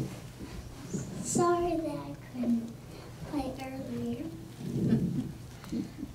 What did her name these? Oh yeah. Call the shepherds George and Morris, and we'll call the wise men Mervyn, cause he brought you the myrrh, and Frank, cause he brought you the frankincense, and Old Cratchit told me one of our orphans was working here today. What are you doing out of the kitchen? This room is Oh, off limits to the hired help. Professor Gray. Answer me at once. I have permission. On whose authority? You know very well this is against the rules. But Miss, Where did you get that dress? Did you steal it? no, I didn't steal anything. I promise. You will take that dress back to where you got it and gather your things. I will deal with you when we get back to the asylum. But the miss said I could come to the party. Lies. It's not a lie. I'm invited. I'm a special guest. Clearly, working in this house today has pampered your vanity. You are not special, Olivia. You're nothing but an orphan, a lying, thieving orphan. Now, go and gather your things and do not make me say it again. Yes, Professor. Olivia, did you take the baby Jesus from this table? Miss said I could play with it as long as I brought it back before the party. Does it belong to you? No, No what? no, Professor. What do we call people who take things that do not belong to them? But I have permission. What do we call people who take things that do not belong to them? I put it back like I was supposed to. What do we call people who take things that do not belong to them? A thief, A thief what? a thief, Professor. So, what does that make you, Olivia? But I'm not a thief. I had permission, and I brought it back like I was supposed to. Just ask the miss. Olivia! I was prepared to wait until we got back to the asylum, but a thief cannot go unpunished. I'm sure Lord Cratchit will be pleased to know that the thief has been caught expediently. You know what to do. Place your hands on the table. What are you wanting? Uh, Olivia? what is going on here? This matter does not concern you, madam. Anything that happens in this house concerns me, and this matter concerns me a great deal. This child is a ward of the orphan asylum and a thief. I know very well who she is, and she is no thief. She has confessed to the offense, and it is my duty to administer an appropriate punishment. Quote the verse, Olivia. Spill the rod, spoil the child. Uh, don't you dare lay a hand on this child! If you let one get away with theft, they will all expect to get away with theft. Now stand aside, you meddling woman, and let me do what I need to do. No! Stop! How dare you raise your hand at my wife? Your wife? My apologies, Lord Cratchit. I didn't know who she was. But you will be relieved to know that the thief has been caught and the baby Jesus returned to the stable. I was just about to punish the thief when she interfered.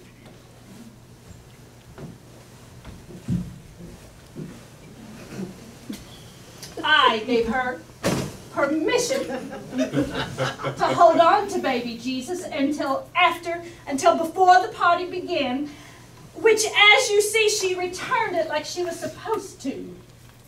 We teach the children not to touch anything that does not belong to them. Hmm. She knows the rules, and that is not allowed. Are you trying to dictate to me what is and isn't allowed in my own home? Of course not. But we can't allow one child to receive preferential, te- preferential treatment over another. It breeds discord among the lot. So, what you're saying is, you beat them all equally. Yes. Well, no. Only those who are disobedient. The same punishment for each offense. God sees all sin the same. Why should I do any less? Is everything all right? I heard a commotion.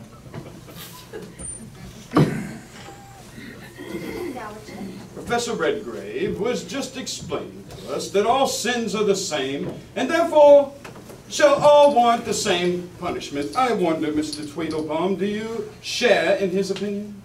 Um, uh, Professor Redgrave has been a disciplinarian at the orphanage now for a number of years now without complaint.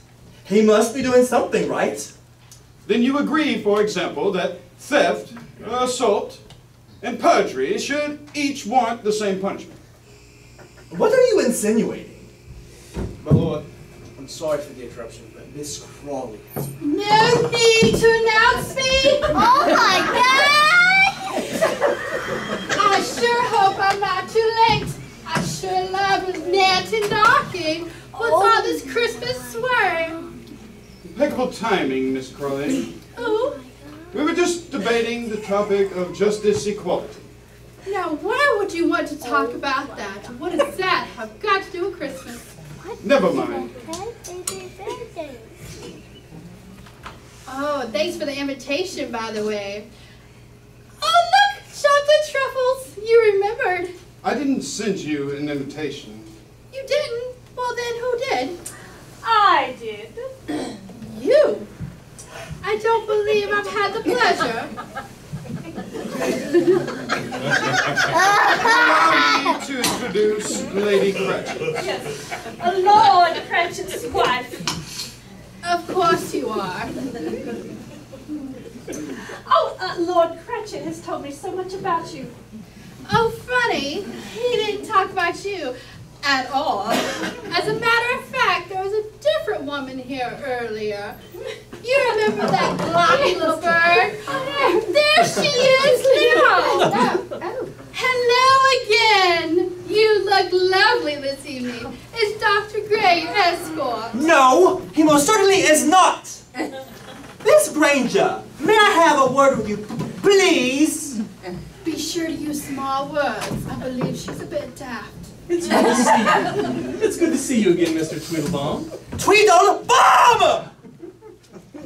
Miss Catherine talks about you all the time.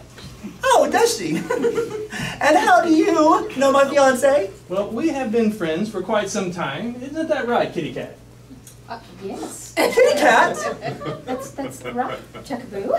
Chuckaboo! oh, look at the time! Oh, how about we start with some old-fashioned Christmas carols? Deck the halls with boughs of holly. La la la la la la la la. Tis the season to be jolly. La la la la la la la la. Anyone? Anyone? Oh, Oh, remember, never mind. Now that everyone is here, I have an announcement to make. Miss Crawley, Professor Redgrave, the orphanage is being investigated. Investigated? What for? Haven't done anything wrong. Everything I do is dictated by Bible authority. My conscience is clear. What evidence is there to support your recommendation for this investigation? Thank you, James. This afternoon, I paid a visit to Mr. Higgledy Smith. I believe you know him. He is, after all, the president of the Savings and Loan. I thought it prudent to have an audit done of the accounts of the orphanage since Dr. Gray had not been paid for his services for the last 30 days. We looked at the payroll, we looked at the children's records and expenditure, expenditures and supplies. Well, my, my, my, aren't you thorough? Whatsoever thy hand findeth to do, do it with thy might. Ecclesiastes chapter 9, verse 10. Those records are my responsibility. I would have shown you anything you wanted to see. All you had to do was ask. I can't imagine you found anything at a place. I document everything, every bill, and every invoice. Everything except for cash receipts. Cash receipts? Yes, for the vegetables you sell. The ones that are grown at the orphanage to ensure that the children are well fed and the wages that you receive for the work you require the children to do for the prominent families and merchants in town. Speaking of wages, you still haven't paid me mine. Yes, and I still haven't received your references. Now about those vegetables. I don't know what all this fuss is about. Children don't even like vegetables. I like vegetables. Hush, child. No, you don't. You sold Miss Pattycake a basket full of vegetables just today. I'm not sure who that person is. I've never heard of her. Then allow me to make the introduction, Miss Crawley. I would like you to meet Miss Pattycake. She manages our kitchen here at Granger Manor. Well, if it isn't the Raven Ed I bag I was telling you about earlier today. What are you doing here? and the same person with whom you sent a little orphan girl to work for the sum of a meager sixpence. What did she call it, Miss Pattycake? A brat for a sprat. Come to take her back, and you can ever. it isn't law, against the law to sell vegetables. People sell things in the street every day. Indeed they do, except, Miss Crawley, when you are selling things that do not belong to you and pocketing the proceeds. That is theft. Is this Charlie gonna get the strap? Now that's something I'd like to see. No, Olivia, the magistrate will deal with her punishment. Now, on to Professor Redgrave. Perhaps you can educate the rest of us on the matter of the wages received for the work you require the children to do. I don't deny the children work outside of the orphanage. We can't coddle them the rest of their lives. But you don't coddle them at all. It's important to teach the children a trade. At some point, they have to leave the asylum and become productive members of society. I might be persuaded to agree with you, except that there were no records or ledgers to account for their wages. It's not uncommon for apprentices to go unpaid. Their education of the trade is their reward. You said yourself you found no record of wages. So unless you have evidence to substantiate your insinuations, I will take my leave.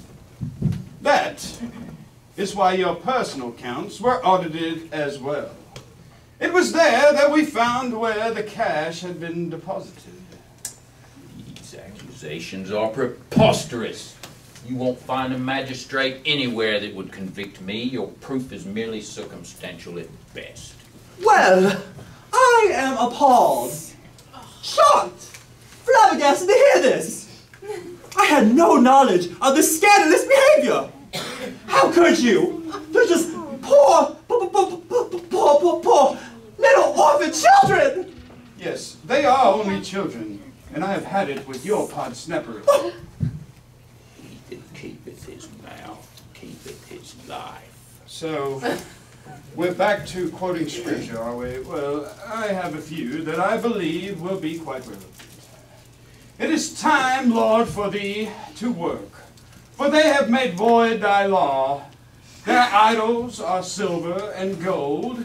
He that worketh deceit shall not dwell within my house, and he that telleth lies shall not tarry in my sight. And when all the workers of iniquity do flourish, they shall be destroyed forever. The foolish shall not stand in thy sight. All from the book of Psalms. Lord Cratchit, I hope you don't think I had anything to do with this. Why, we're practically family. Not any more. What is this? Duchess, you're not drunk anymore. I pray God fix you. Yes, Oh I my suppose he did. And Dr. Gray, if you will check his pocket, I will be, believe you will find the orphan's wages. Uh, what do we have here? And whose hand is mischief, mischief, mischief and her their right hand is full of bribes. You are mistaken. That is not what that is. Really, because the receipt inside proves otherwise. Uh, for wages and services rendered by the orphanage, residence paid to Mr. P.P. Tweedlebaum III. His name is Mr. Pee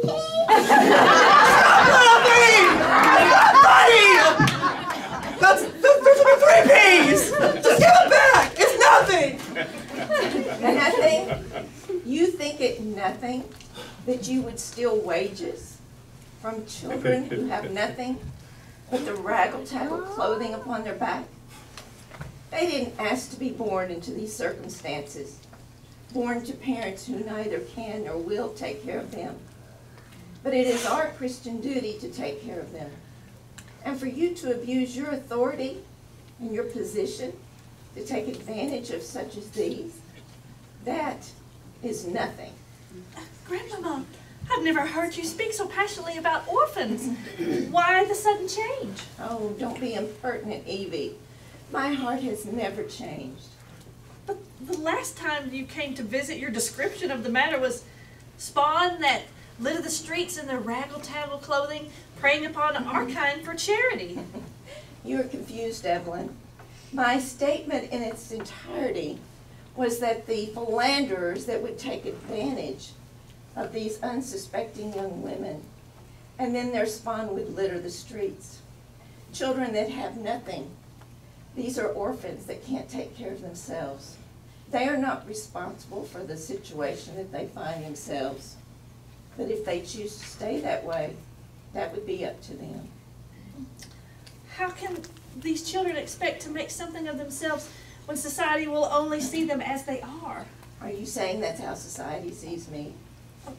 Of course not. Why would I? You're a duchess. Well, I wasn't always a duchess, you know.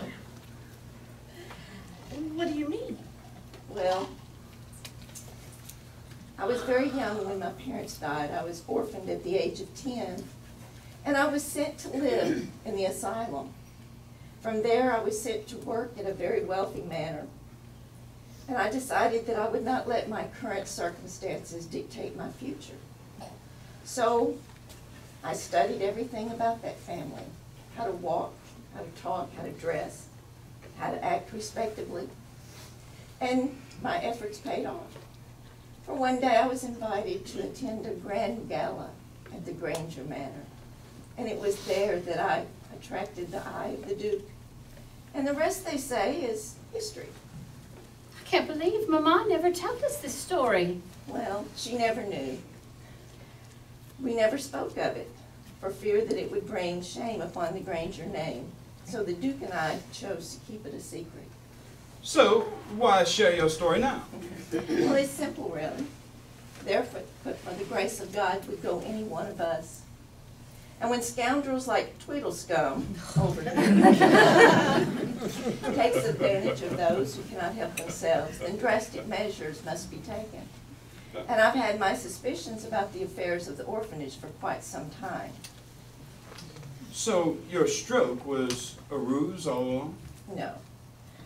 It did affect my left side, but my speech was never affected, and you would be surprised to know what people will tell you when they think that it can't be repeated.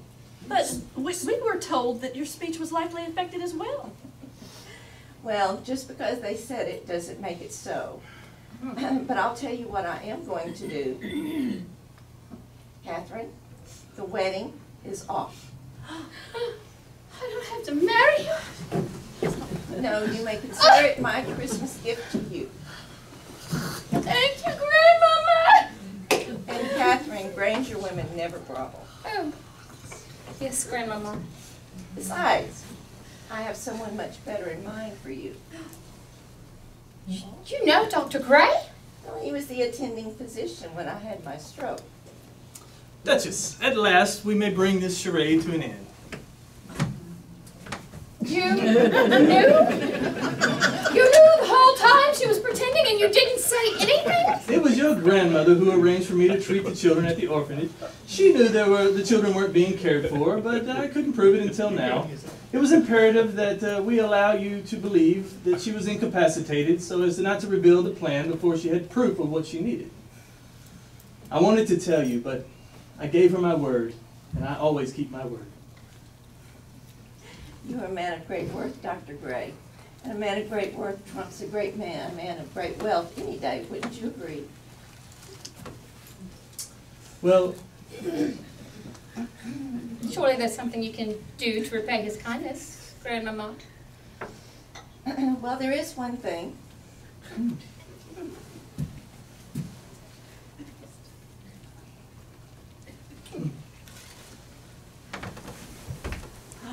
What are you doing? What are you doing? Catherine Eleanor Granger, No, no, no, no, you don't. You can't be serious. will you do me the honor No, no, I don't have to marry him anymore. It's all right. of becoming But how, you, don't, you don't know anything about me. my wife? Uh, Well, great worth trumps great wealth any day, wouldn't you agree? I do. This is absurd! I forbid it! Yes, on one condition. Name You just remember who asked first. You'll pay for this. No one makes a mockery of a Tweedlebaum. You think you have it all figured out. You know nothing. My dealings with the orphanage have merely been a distraction. Perhaps. But at this point, anything else is just redundant. This matter alone We'll see you locked away for quite some time. Ah, Lord Cratchit! the lowly accountant! You were so preoccupied with the orphanage that you neglected the affairs of your own estate. What have you done? You are mistaken. Granger Manor has never been more secure. What? What is he talking about? You don't know? Granger Manor hasn't remitted payment for its mortgage in six months. These are the foreclosure documents. It gives me great pleasure, pleasure to announce that as of December 31st, it belongs to me. Merry Christmas! How could you? I merely took advantage of an unfortunate situation. Aww, my dear, sweet Catherine. I had hoped to surprise my blushing bride with the news that Granger Manor belonged to us. But since the wedding is off, however, I might be persuaded to let them stay if. Hmm. Never! Catherine! Hmm. Oh, yeah, babe! Mom, jump down! You can pour your own tea! Tea? I defended your honor over a cup of tea? Well, you did say there was no problem so great it couldn't be solved over a good cup of tea. You all have seven days to vacate the premises, or I shall have you forcibly removed, and I'll be charging you for assault. No, I don't believe you want to do that. I do, and I will. That was a rather nasty fall that you took. Perhaps you should lay down for a while. I don't want to lie down. And maybe you should rest your head upon this while you're there. Hmm. I suppose I can overlook it this time. Seven days! You can't do this! This has been our family home for generations! And now it'll be my home for generations to come! Once again, you are ladling calculation. This foreclosure isn't worth the parchment it's written on. I researched the account personally. There have been no payments since July. Of that, I am certain. Well, I don't understand. Why not? That is correct. There have been no payments remitted since July. This should be good. Because I settled the estate in its entirety, and I had the deed forwarded to myself for safekeeping at Granger Manor. So you see, Mr. Tweedlescum, you can believe nothing. Truly, the love of money is the root of all evil. The three of you were running quite a racket together.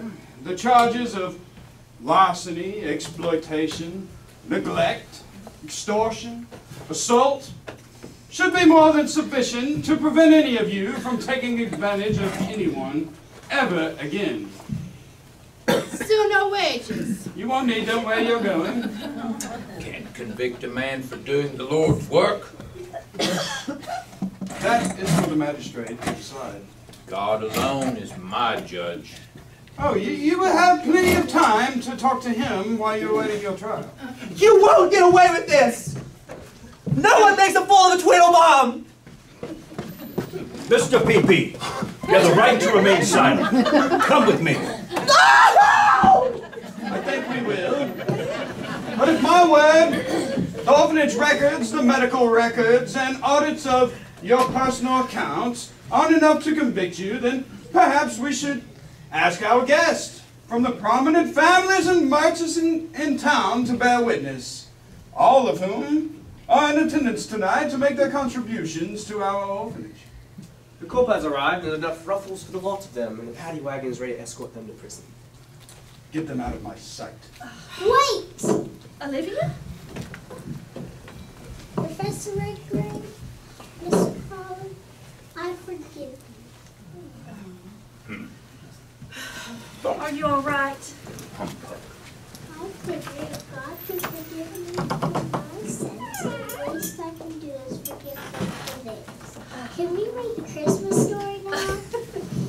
I believe that's a wonderful idea. I get to be the angels! Indeed. And this was the last year that Cratchits hosted the annual Christmas gala at Granger Manor. The orphanage in town was closed down, but the orphans were relocated to Devonshire by none other than the Dowager. Now, the estate was deeded to Lord and Lady Cratchit, but in the condition that they only use it for what cause is near and dear to their heart. The residential institution of education, health, and for the abandoned raggle-taggle spawn, but we just call it the Devonshire. Miss Catherine and Dr. Gray were hired as resident teacher and physician on staff. After a year of waiting for the good doctor to set a date for the wedding, Catherine took matters into her own hands once again, and they were married a week later. The Dowager took up residence at Granger Manor and continued to host the annual Christmas Gala for many years to come. But it isn't the songs that we sing, the decorated trees, or the feast we share at Christmas, but it's with God's gift to mankind, a Son Jesus, who is born to humanity and in the filth of a state. You see, we are all orphans separated from our Heavenly Father. But God so loved the world that he gave his only Son, that whosoever believeth in him shall not perish but have eternal life. And if we accept God's gift of grace and mercy, then one day too we will spend eternity with Him. The greatest gift we could ever have, and will be sung through the halls of Granger Manor for years to come. A remembrance of the events that occurred one Christmas inspired by the love of family and the faith and compassion of an extraordinary little girl named Olivia Twist. The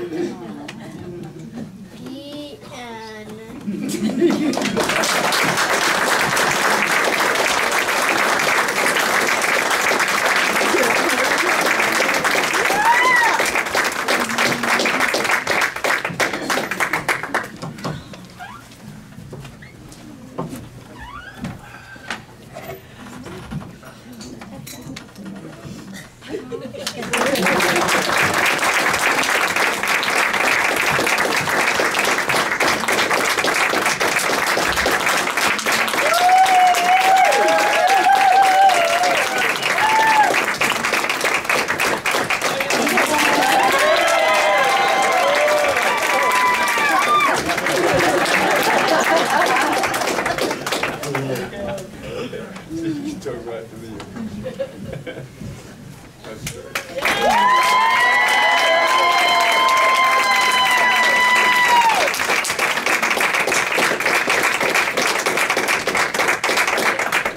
Thank you for coming out this evening. We hope you enjoyed Christmas with a twist.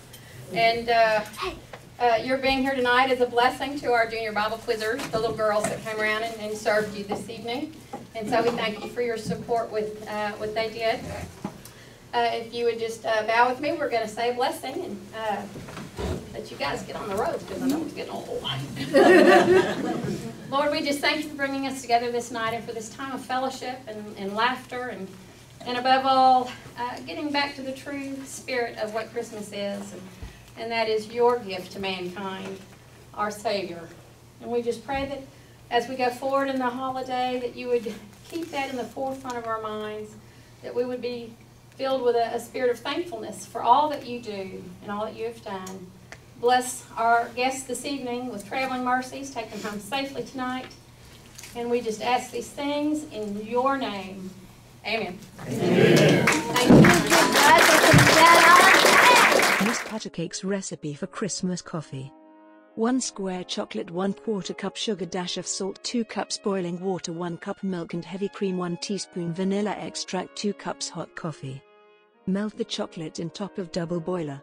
Add sugar, salt, and boiling water. Stir for about 5 minutes. Pour in milk and cream. Do not let it boil. Add vanilla and hot coffee. Mix well. Top with whipped cream and use a candy cane as a stirrer. Serve often for a Christmas spirit that lasts all year. Thank you for watching this Crystal Hill Assembly of God presentation of Rebecca Barfield's Christmas with a Twist. This live production and video production is copyrighted in 2019 by Crystal Hill Assembly of God and Rebecca Barfield. The story herein is based on the original ideas of Mrs. Rebecca Barfield. Any parallel stories or people are strictly coincidental and are not the fault of Mrs. Barfield. If you are in the central Arkansas area, we would like for you to join us at Crystal Hill Assembly of God in North Little Rock this Sunday or Wednesday night. We have something for every member of the family, from newborns to seasoned citizens and everyone in between. We have something specifically designed to minister to you. On Sunday mornings we start out with a time of pre-service prayer at 9:15 a.m., and at 9:30 a.m. we have Sunday school for all ages. We enter into worship at 10:30 a.m. with our Sunday morning worship service. We also have for children 4 through 12 Kids City that runs concurrently to the morning service. At 1 p.m. our Latino congregation meets for an hour of pre-service prayer, and then at 2 p.m. our Latino congregation enters into worship with Centro Cristiano Hispano.